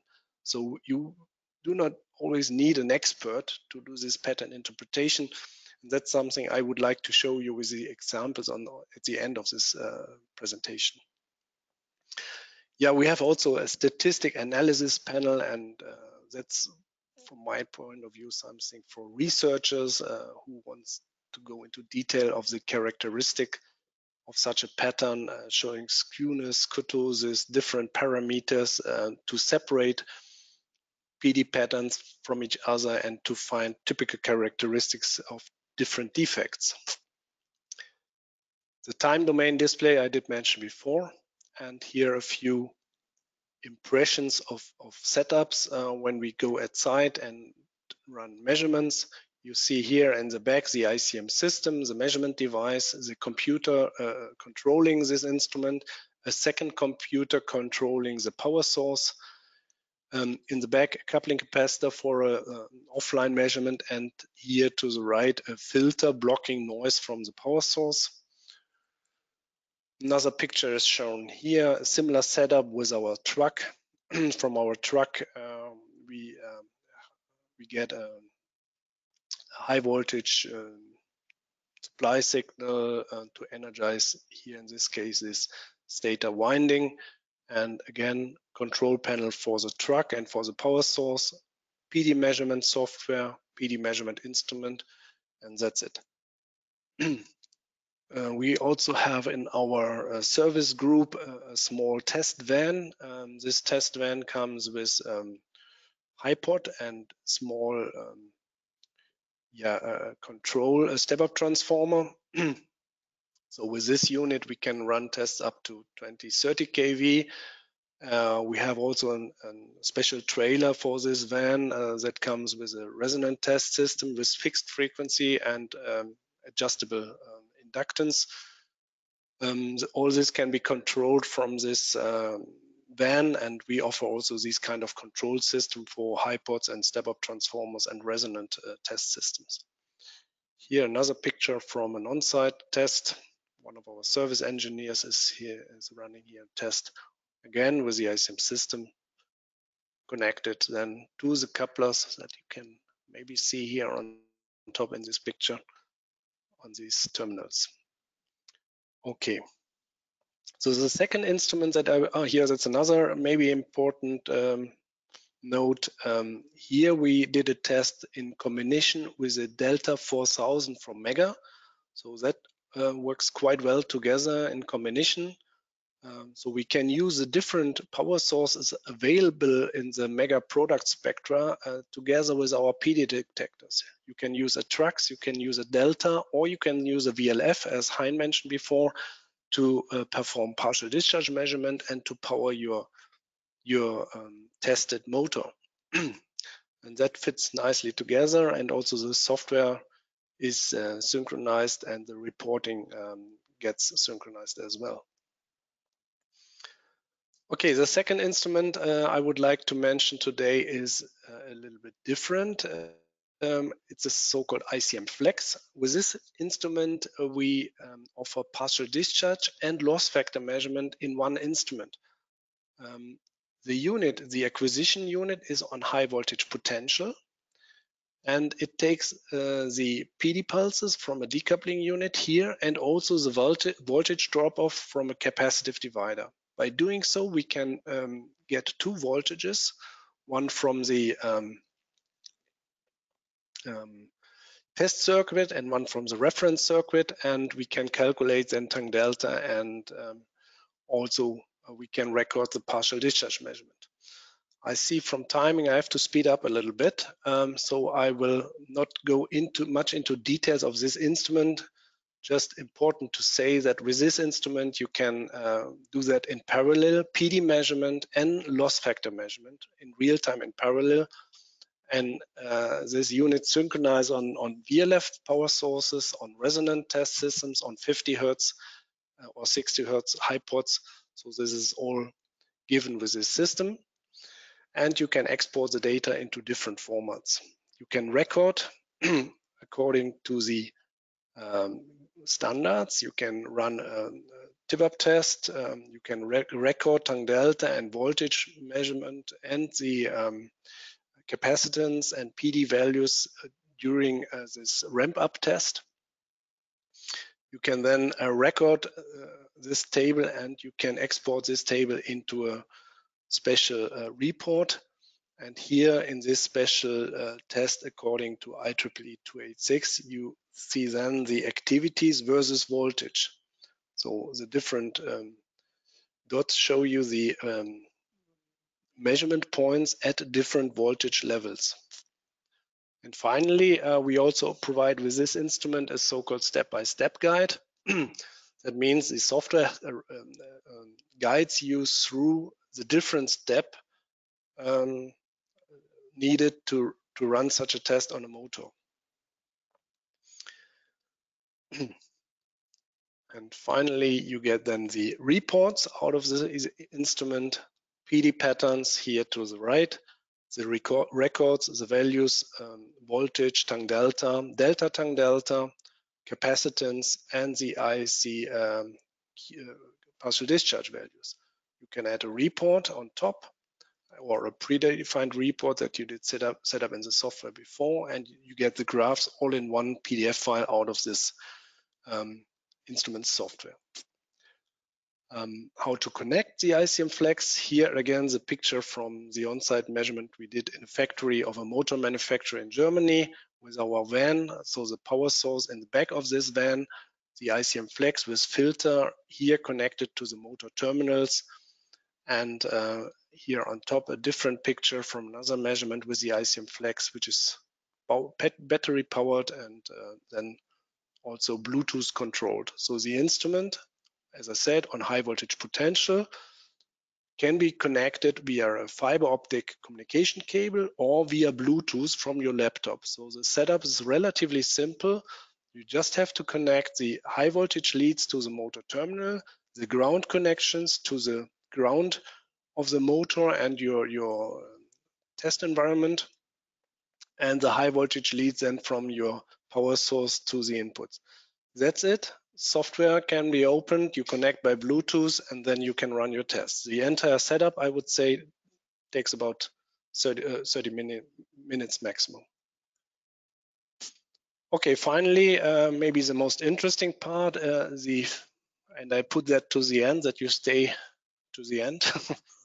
so we have some failure examples. um, first, we can classify the different uh, failures on rotating machines into different categories. Uh, we have internal discharge activities such as del delaminations, microvoids, thermal aging. Then we have uh, uh, discharges at the overhang, surface discharges by contamination, bar-to-bar -bar activity, or uh, PD due to vibrations. at the slot, this in the slot, we have uh, we can find discharges due to wedge problems or inadequate impregnation. Then we have quite uh, important and dangerous slot exit discharges due to field grading problems. And then we can also see external high frequency disturbances. So that's the fifth category of activity that we can detect with our PD measurement instruments. Where do we get these kind of failures? Mainly in this stator bar. We have the strongest electrical field at the corner. So this, this is, a, is a weak area. We can get delaminations at the inner conductor, at the uh, main insulation of the winding. We can have uh, delaminations within the taper layers, tape layers. We can see treeing um, we can also see uh, ground wall delaminations, so-called then also slot discharge, and um, also internal voids. Starting with void discharges, a fresh void in, in such an insulation layer, as you see it here in the right lower corner in this picture, in this uh, microscopic picture, these voids um, at the very beginning um, get triggered by ionization. Uh, so the natural radiation of um, light causes um, a hit of these um, um, molecules inside of these gases. And finally, we get then free electrons, and these electrons gets uh, accelerated and cause the impulse uh, that we can measure. Um, at the beginning of fresh voids, we get this as a statistical process, and then we see it as typical line patterns. So here in the left upper picture, you see one, two, three, four, five, six, maybe seven individual voids.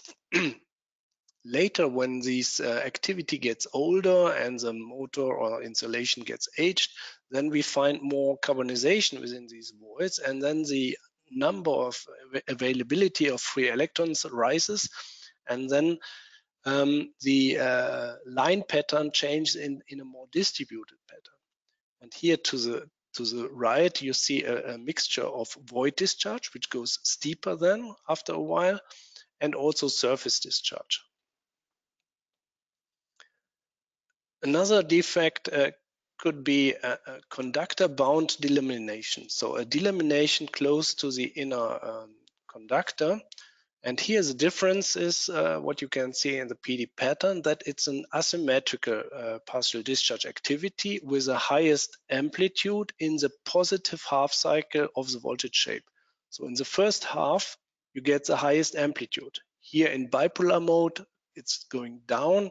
In unipolar mode measurement, it's at the same phase position. It's highest triangular activity in the first half of the voltage shape and with lower activity in the second half.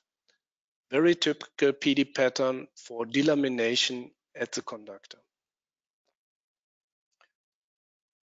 Next one, you have then the defect at the outer area.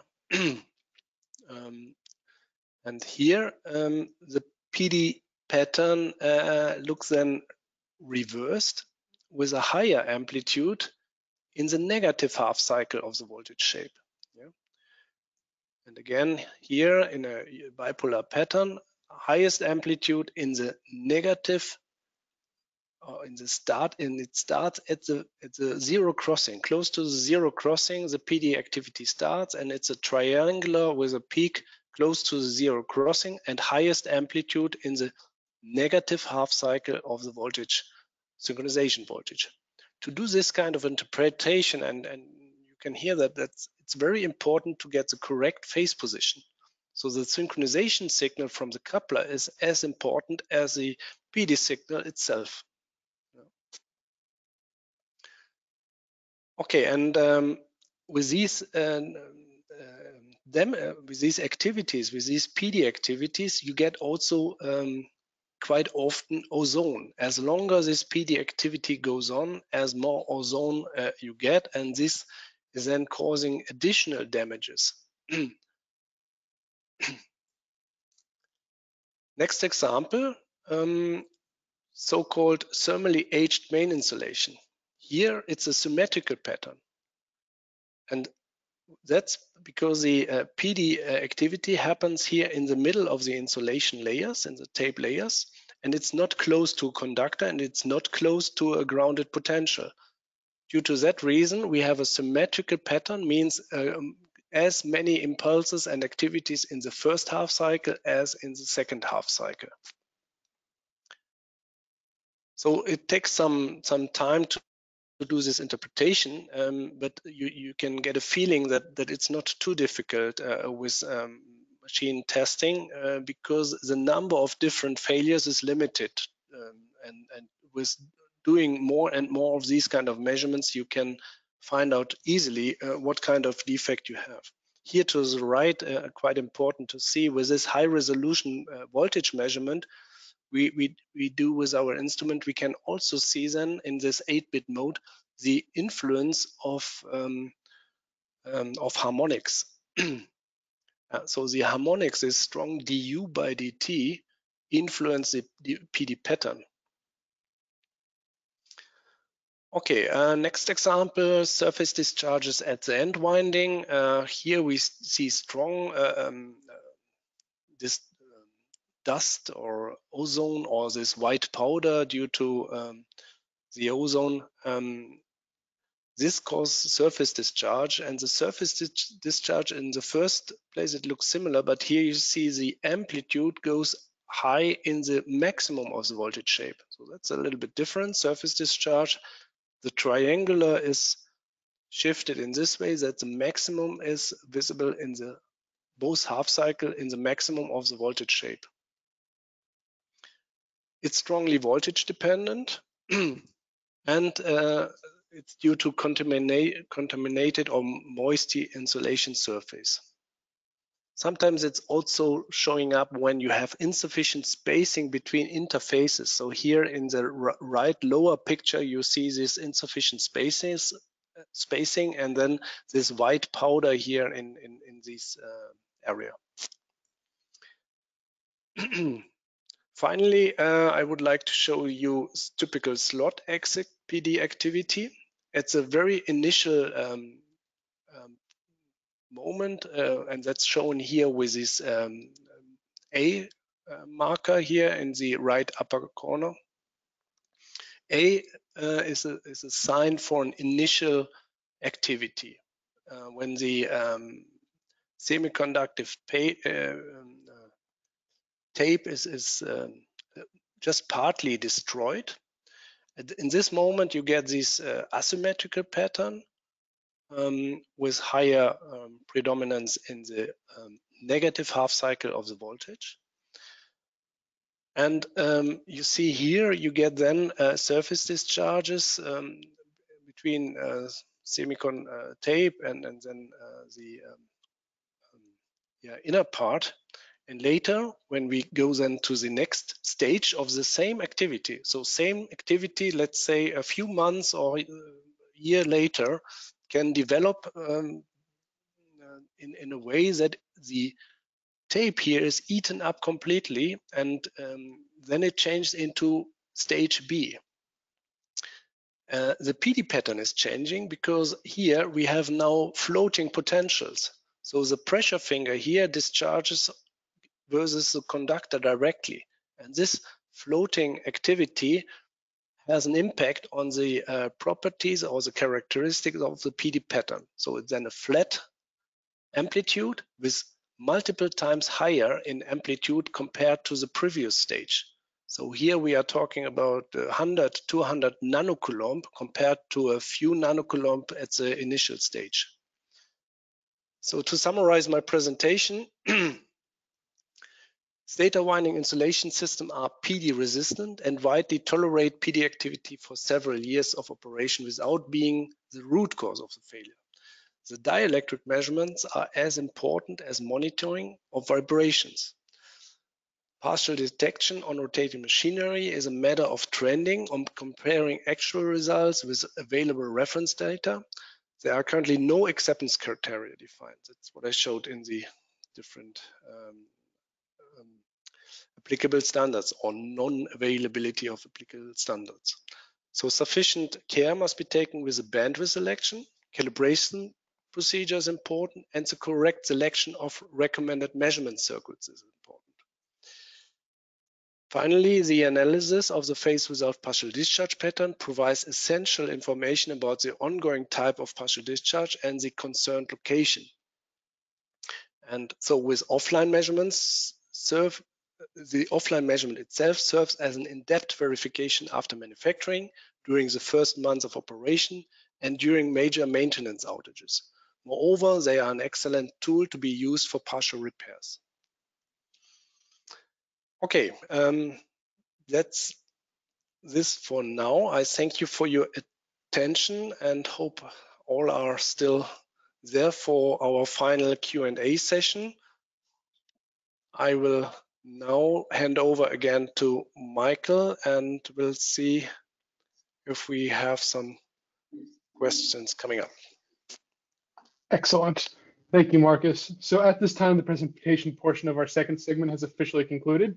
We'll now take a couple of minutes to answer as many of your questions as possible. If you have any questions, please submit them now into the Q&A box on the right side of your screen. For those of you that are leaving, when you close the webinar window, a brief survey should pop up on the screen. We would greatly appreciate it if you could take a couple of minutes to provide your feedback so we can continue to improve upon our future webinars. On the survey, there's a field where you can also request a demo or a quote of any Megger products. A copy of these presentations, certificate of attendance, the motor product discount code, and a link to the video recording of the seminar will be emailed to everyone in about two business days.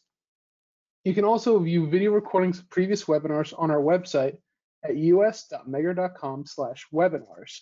And be sure to join us for power quality applications, measurements, and analysis on September 30th. So let's jump into your questions. The first one I have, I'm going to be directing to Charles Nybeck.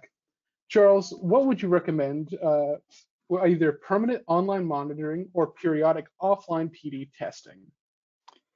Thanks, Michael. That's a great question. Um, and Hein actually, I mean, sorry, Markus actually touched on that right as his last summary on his bullet point. And it's really a matter of of each has their own advantage and disadvantage. Um, as he had mentioned um, on his last summary point, if you're doing offline testing, this can serve for a more in-depth analysis of the of the asset. Um, this would allow you to control your voltage you could stress it if if you chose. You could also gives you the ability to record your inception voltage, which is the point at which you start to see partial discharge taking place, and the extinction voltage, which is when you as you're backing back down, the point at which the partial discharge uh, ceases to take place. Um, and both of these are important because as these as these voltages go down, and it starts give you giving you um, an indication or, of, of deteriorating insulation system. Now, permanent online monitoring or even um, you can per, you could also do periodic online monitoring uh, through permanent installation of couplers.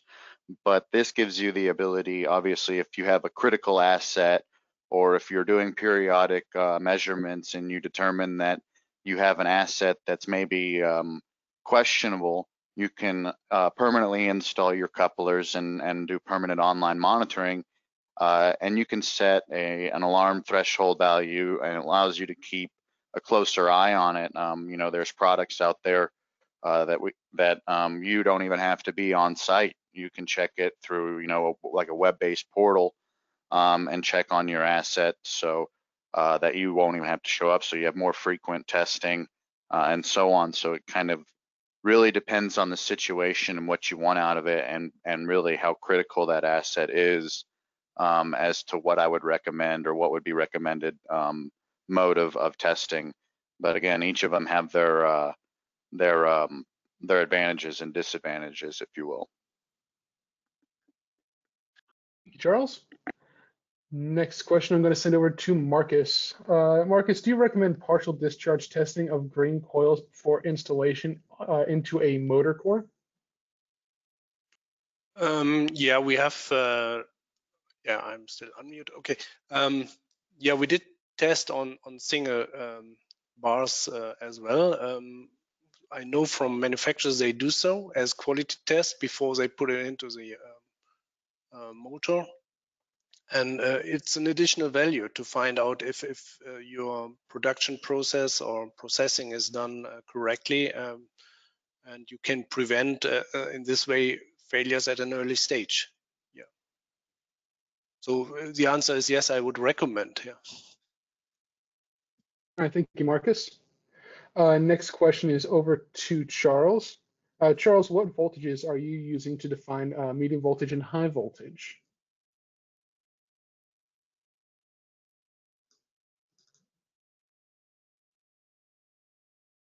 Charles, we might have you on mute there. Definitely was on mute. Thank good good looking out, Michael. Sorry about that, guys.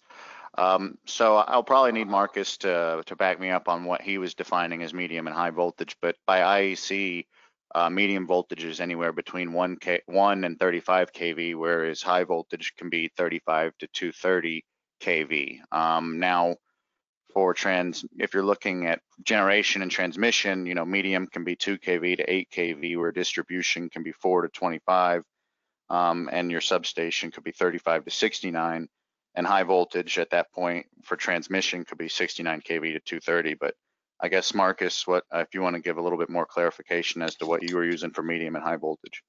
Yeah, I would see it similar as you you do. Um, from my understanding, or by definition, everything above 1 kV is named high voltage, just by definition. But uh, uh, it's very common to use medium voltage for everything uh, in the distribution class um, network. Um, yeah, so I, I would follow your your your statement. All right, thank you very much. Next is over to Markus again. Uh, how do you filter external disturbances from internal PD?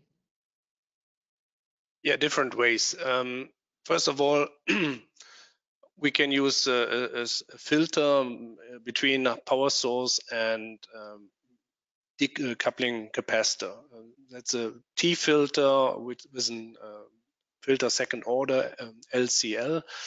Um, that's one way. Um, this kind of filter blocks all line coupled um, disturbances. Uh, second way is to use a so-called gating input. With these gating input, we can um, trigger on um, disturbance signals from the environment coupling over the ground. uh, let's say uh, inverter signals, uh, crane movements, um, producing disturbance signals, um, these we can pick up from ground. We can bring these uh, disturbance signals into a separate input of the instrument and the electronic circuit separates these disturbances from the measurement path. And the third uh, way is to use spectrum analysis. That means that we choose uh, measurement frequencies where such disturbances uh, do not show up. Um, and uh, for each setup, we have to decide which uh, is best. For, for monitoring, we go for spectrum analysis and choosing then a proper frequency uh, range then. All right, thanks, Markus. Uh, next is over to Hein. When a cable is connected to the machine, can you also assess the termination? That is a good question and is not that simple to answer, but um, what we have seen in the presentation before from Markus is that if you look to the PD amplitudes from PD coming from the machine, we are talking about nanocoulomb or high nanocoulomb brains. And if the PD values are that high, then if you only have one PD coupler, um, then you will not see that there was also PD within the terminations because those levels are normally uh, lower than 1000 picocoulomb. So those ones will not be seen. Still, uh, there are other ways to couple out partial discharges during testing. So if you've got a 50 hertz test and if you are energizing to your motor, if the are um, a couple of meters away from your uh, motor, so 10 to 20 meters away from your motor, then you can use uh, so-called US, UHF measurements, which are local measurements. And via that, you have a way to also um, assess if the terminations have PD during your normal PD test. All right, thank you very much. Uh, next is back over to Charles. Uh, Charles, is there any kind of power source suitable for PD testing on motors?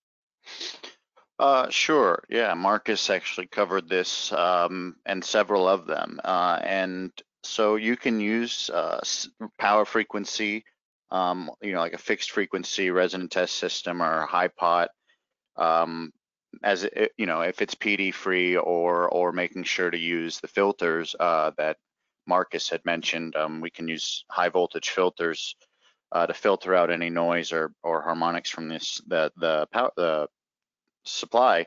Uh, but also you can use VLF test sets. Um, and and as Markus said, if you have a, a test set that maybe is a power factor test set or a substation uh, test set that has the ability to use um, uh, like a manual control on its on its power supply or high voltage supply, you could use that as well. Um, so it can it just matters um, what you use. Um, the only thing difference is it is going to be the the PRPD pattern dep depending on on if you choose a VLF source or a 60 hertz source.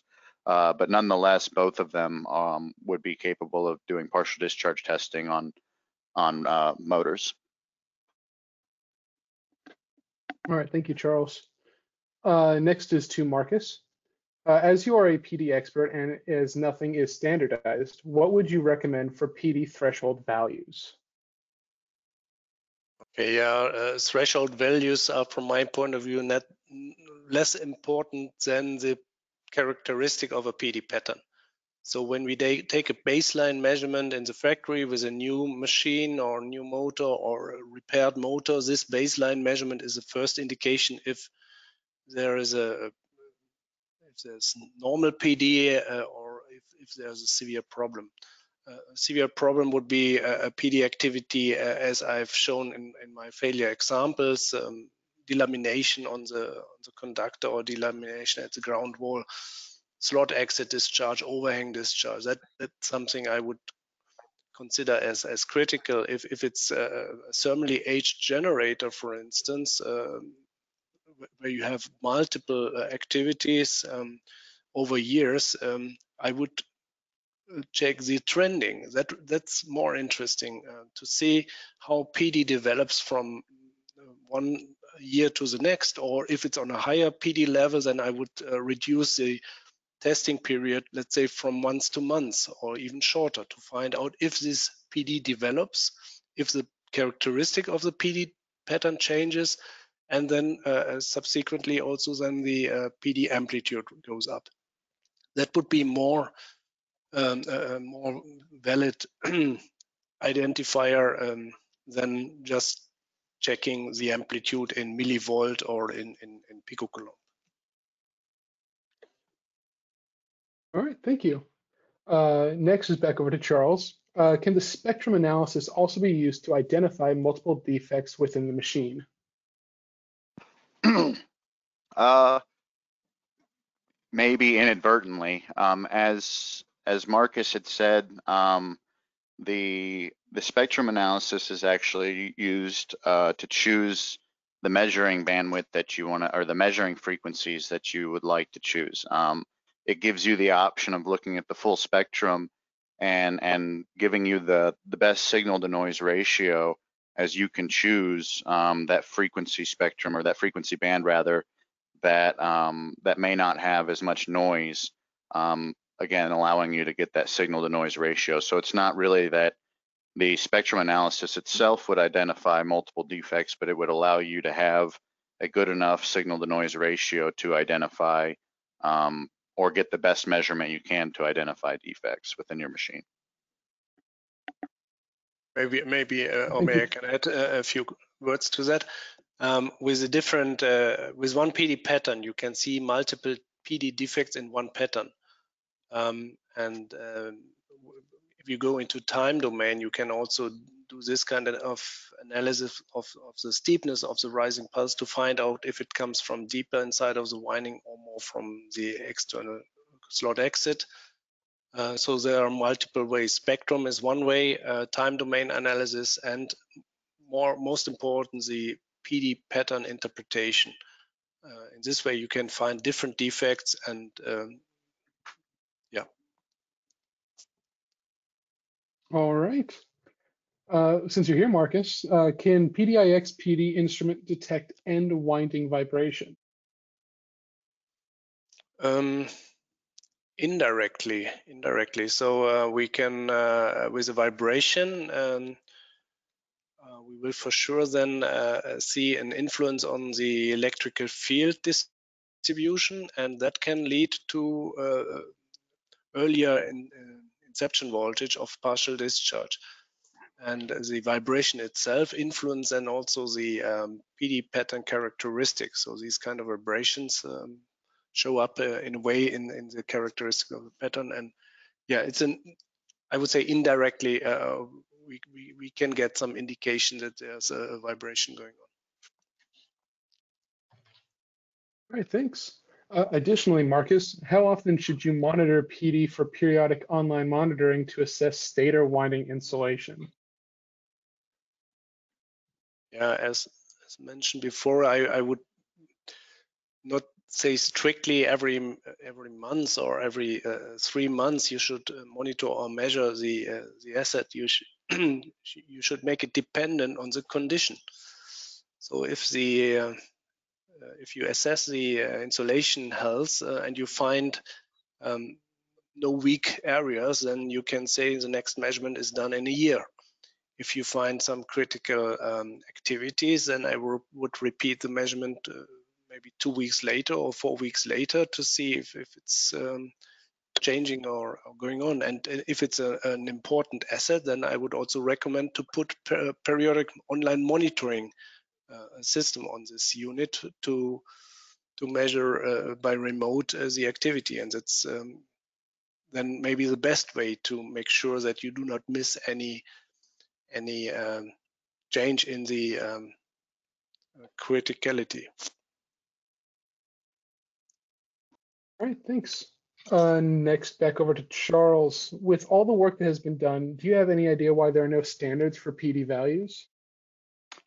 Uh, sure, I'll give a shot and then um, maybe have Markus say a few things on that. But basically, it's due to the fact that rotating machines insulation systems are designed to be partial discharge resistant, um, where many other high voltage assets are are thought to be or or designed to be partial discharge uh, free, meaning that there's a, typically always going to be partial discharge within your rotating machine. And as Markus has stated um, in a previous question, that it's not necessarily the magnitude of the discharge in which you're interested in, as that can change based on the defect and, and many other things, but but more or less the the progression as well as the phase resolve partial discharge pattern. Um, and it's difficult to create a standard based on that criteria. So Markus, I don't know if you want to add a couple more words. No, it's fine. Good. No. All right, good deal. I notice we've neglected Hein, and so we have time for one more question, so I will throw that over to him. Can you use the acoustic and UHF accessories for motor and generator PD detection to localize exactly where the PD is coming from? That's a good question. Um, I will start with UHF. Um, like mentioned before with UHF, if there is a sensor locally attached to a cable termination, then you know it's coming from a cable termination. But if you look to a um, motor or generator, then the UHF will not be able to localize the PD. You can either use an antenna or you can use other couplers, but you will not be able to localize uh, a specific pattern. Uh, sorry, the, the PD. If you look to the acoustics, then um, it depends. So are the uh, do you have access to the stator winding? So do you directly have visible access with your um, microphone to the PD sources? And that's if if yes, then there is a chance to to localize PD. If not, then also acoustics will not be a possibility. So you need to have large motors where the rotor has been taken out. Uh, then you have chances to find PD. If it's on the end winding, then the rotor can stay inside, of course, but still um, you need to have access to the uh, PD source. If there is no direct access, then you can also not pinpoint it. Uh, Markus, what do you say with, with, with especially with regards yeah. to the UHF? Yeah, so with the uh, first with the acoustic, uh, you need uh, at least an electrical trigger if you um, apply acoustic sensors uh, on a on a stator to get a precise trigger um, for the acoustic measurement. If you just apply acoustic sensors, you, you are so looking into all kind of uh, uh acoustic activities, vibration, and so on, and it's not related uh, to partial discharge. Um, so I, I, would not consider that as a good solution for uh, pinpointing PD. The same with UHF. What you have seen from my explanations uh, regarding uh, pulse um, content or frequencies of uh, PD pulses from machines, uh, it drops down significantly um, frequency content in the pulse that we measure on the terminals. It goes down uh, quickly down below 10, 20 megahertz. And UHF starts from some 100 megahertz, 300 megahertz upwards. So UHF at all, I would not consider as as useful or uh, meaningful for PD detection on, on rotating machines at all. We, we use UHF measurement in, in uh, gas insulated switchgear where you have SF6 gas and the rise time of these pulses are in the range of picoseconds. Here you, you find activities uh, in, in a range from a few hundred megahertz up to 1.8 gigahertz.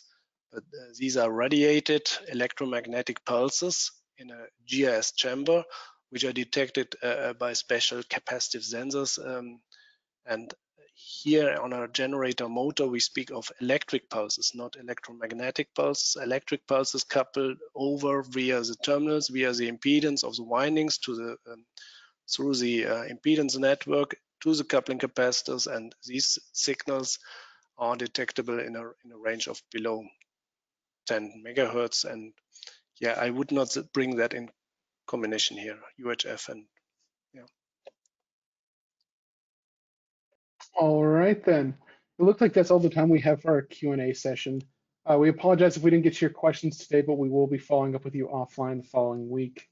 Uh, once more, a copy of the presentations, certificate of attendance, the motor product discount code, similar to the one that's up on the screen now, will be sent out in two business days, along with a link to the video recording of our seminar. I'd like to thank you all for attending. If you could, please remember to answer our survey. The survey will also include a field for you to request a quote or a demo if you're interested. But I'd like to thank you all once again for attending, and I hope you all have a terrific week.